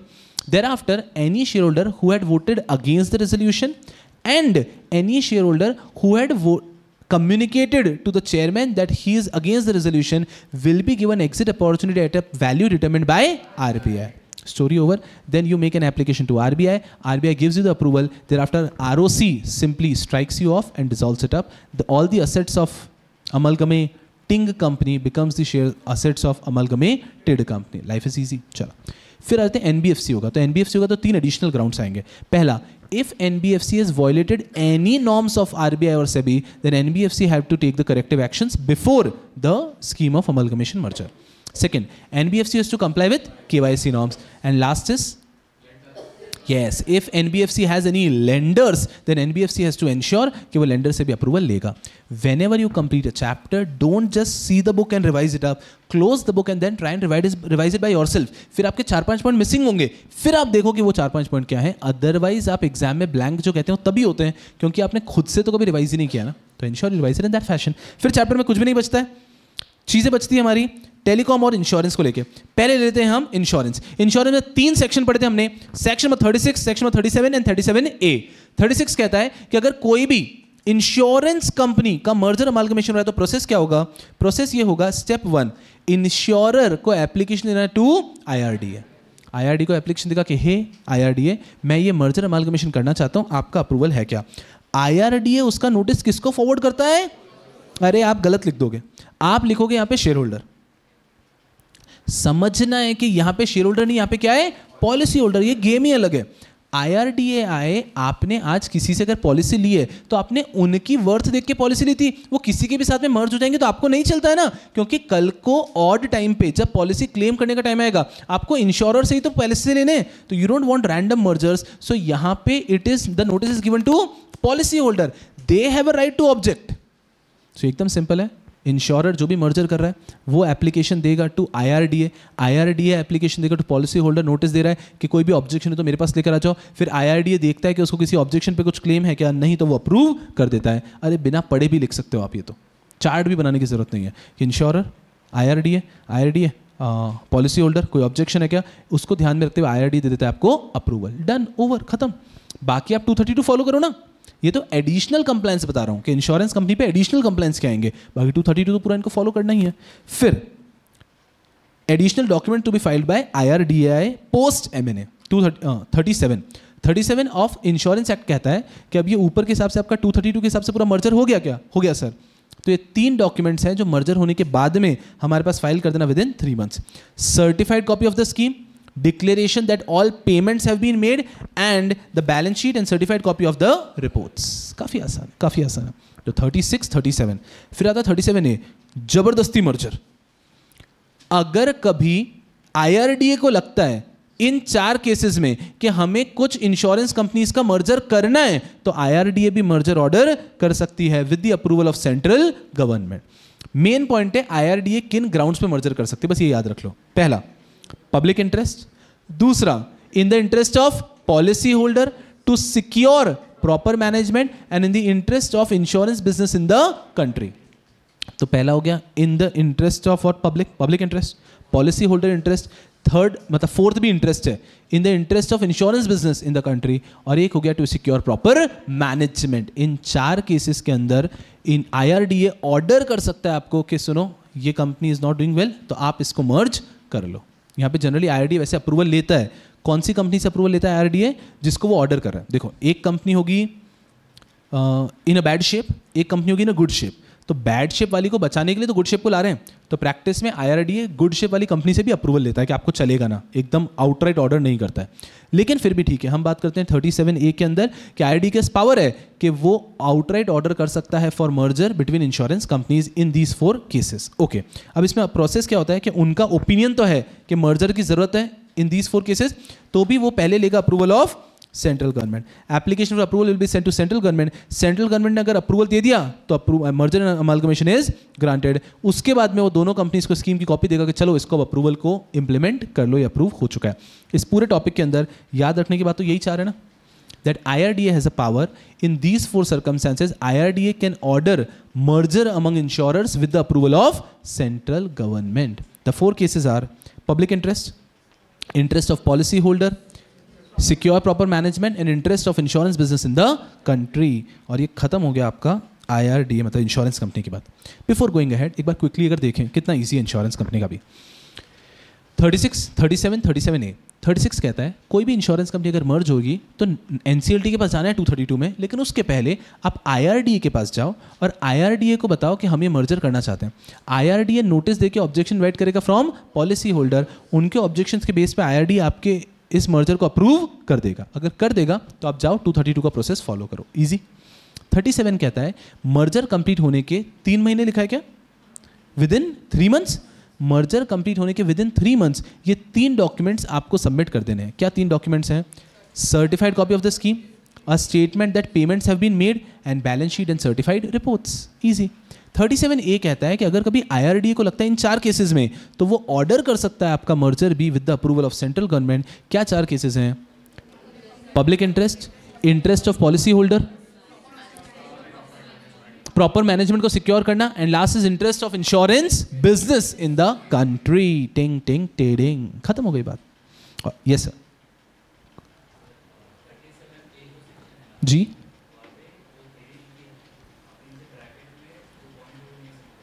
ठीक है, मैं लेता हूँ, कोई लोड ही नहीं है। एक बार अपन इसको क्लोज कर लेते हैं कंप्लीट कर लेते हैं तो ईजी हो जाएगा, कोई परेशानी नहीं है।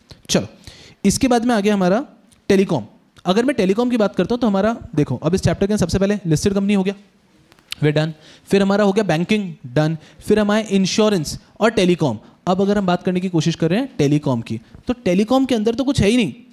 खत्म फिनिश ओवर ये क्या कहने की कोशिश कर रहे हैं? ये इतने से कहने की कोशिश कर रहे हैं कि अगर किसी भी कंपनी को 232 में जाना है एनसीएलटी के पास जाना है, उसके पहले, जैसे आप आईआरडीए के पास आए थे बिकॉज़ यूर इंश्योरेंस कंपनी वैसे आप यहाँ पे भी चले जाओ अपने लाइसेंसर के पास। जिसने भी आपको लाइसेंस दिया टेलीकॉम लाइसेंस का इंटरनेट लाइसेंस जो भी आप सर्विसेज़ दे रहे हो, उस लाइसेंसर के पास जाओ, उसको नोटिफाई करो कि हम एक कॉम्प्रोमाइज अरेंजमेंट अमलगमेशन कर रहे हैं, कोई ऑब्जेक्शन तो नहीं है। उनको कोई ऑब्जेक्शन होगा तो वो आपके पास रेस कर लेंगे, उसी के बाद आप एनसीएलटी के पास जा सकते हो।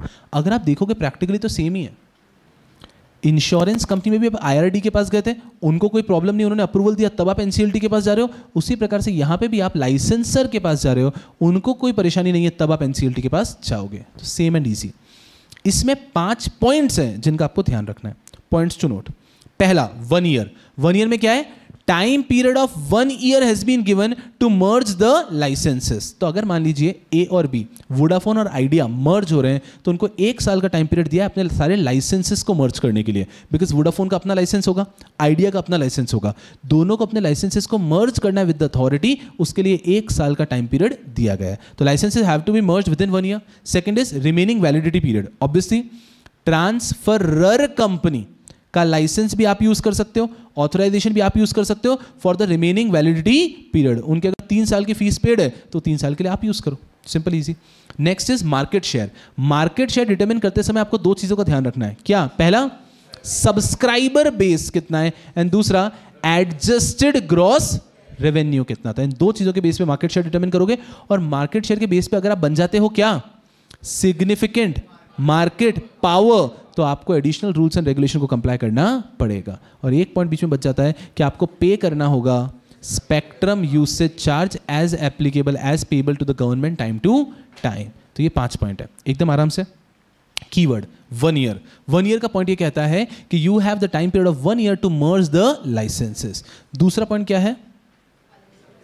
Validity period you can use the licenses और authorisation of the transfer company for the remaining validity period third is market share for determining the market share you will take subscribers base and adjusted gross revenue into consideration अगर आप इस market share के base पे बन जाते हैं significant market power तो in that particular case आपको क्या करना है? आपको एडिशनल रूल्स कंप्लाई करने पड़ेंगे और आपको स्पेक्ट्रम यूसेज चार्ज पे करना पड़ेगा as applicable from time to time and that is all if are doing this you are done with chapter number 9 done done, khatam, ho gaya, over.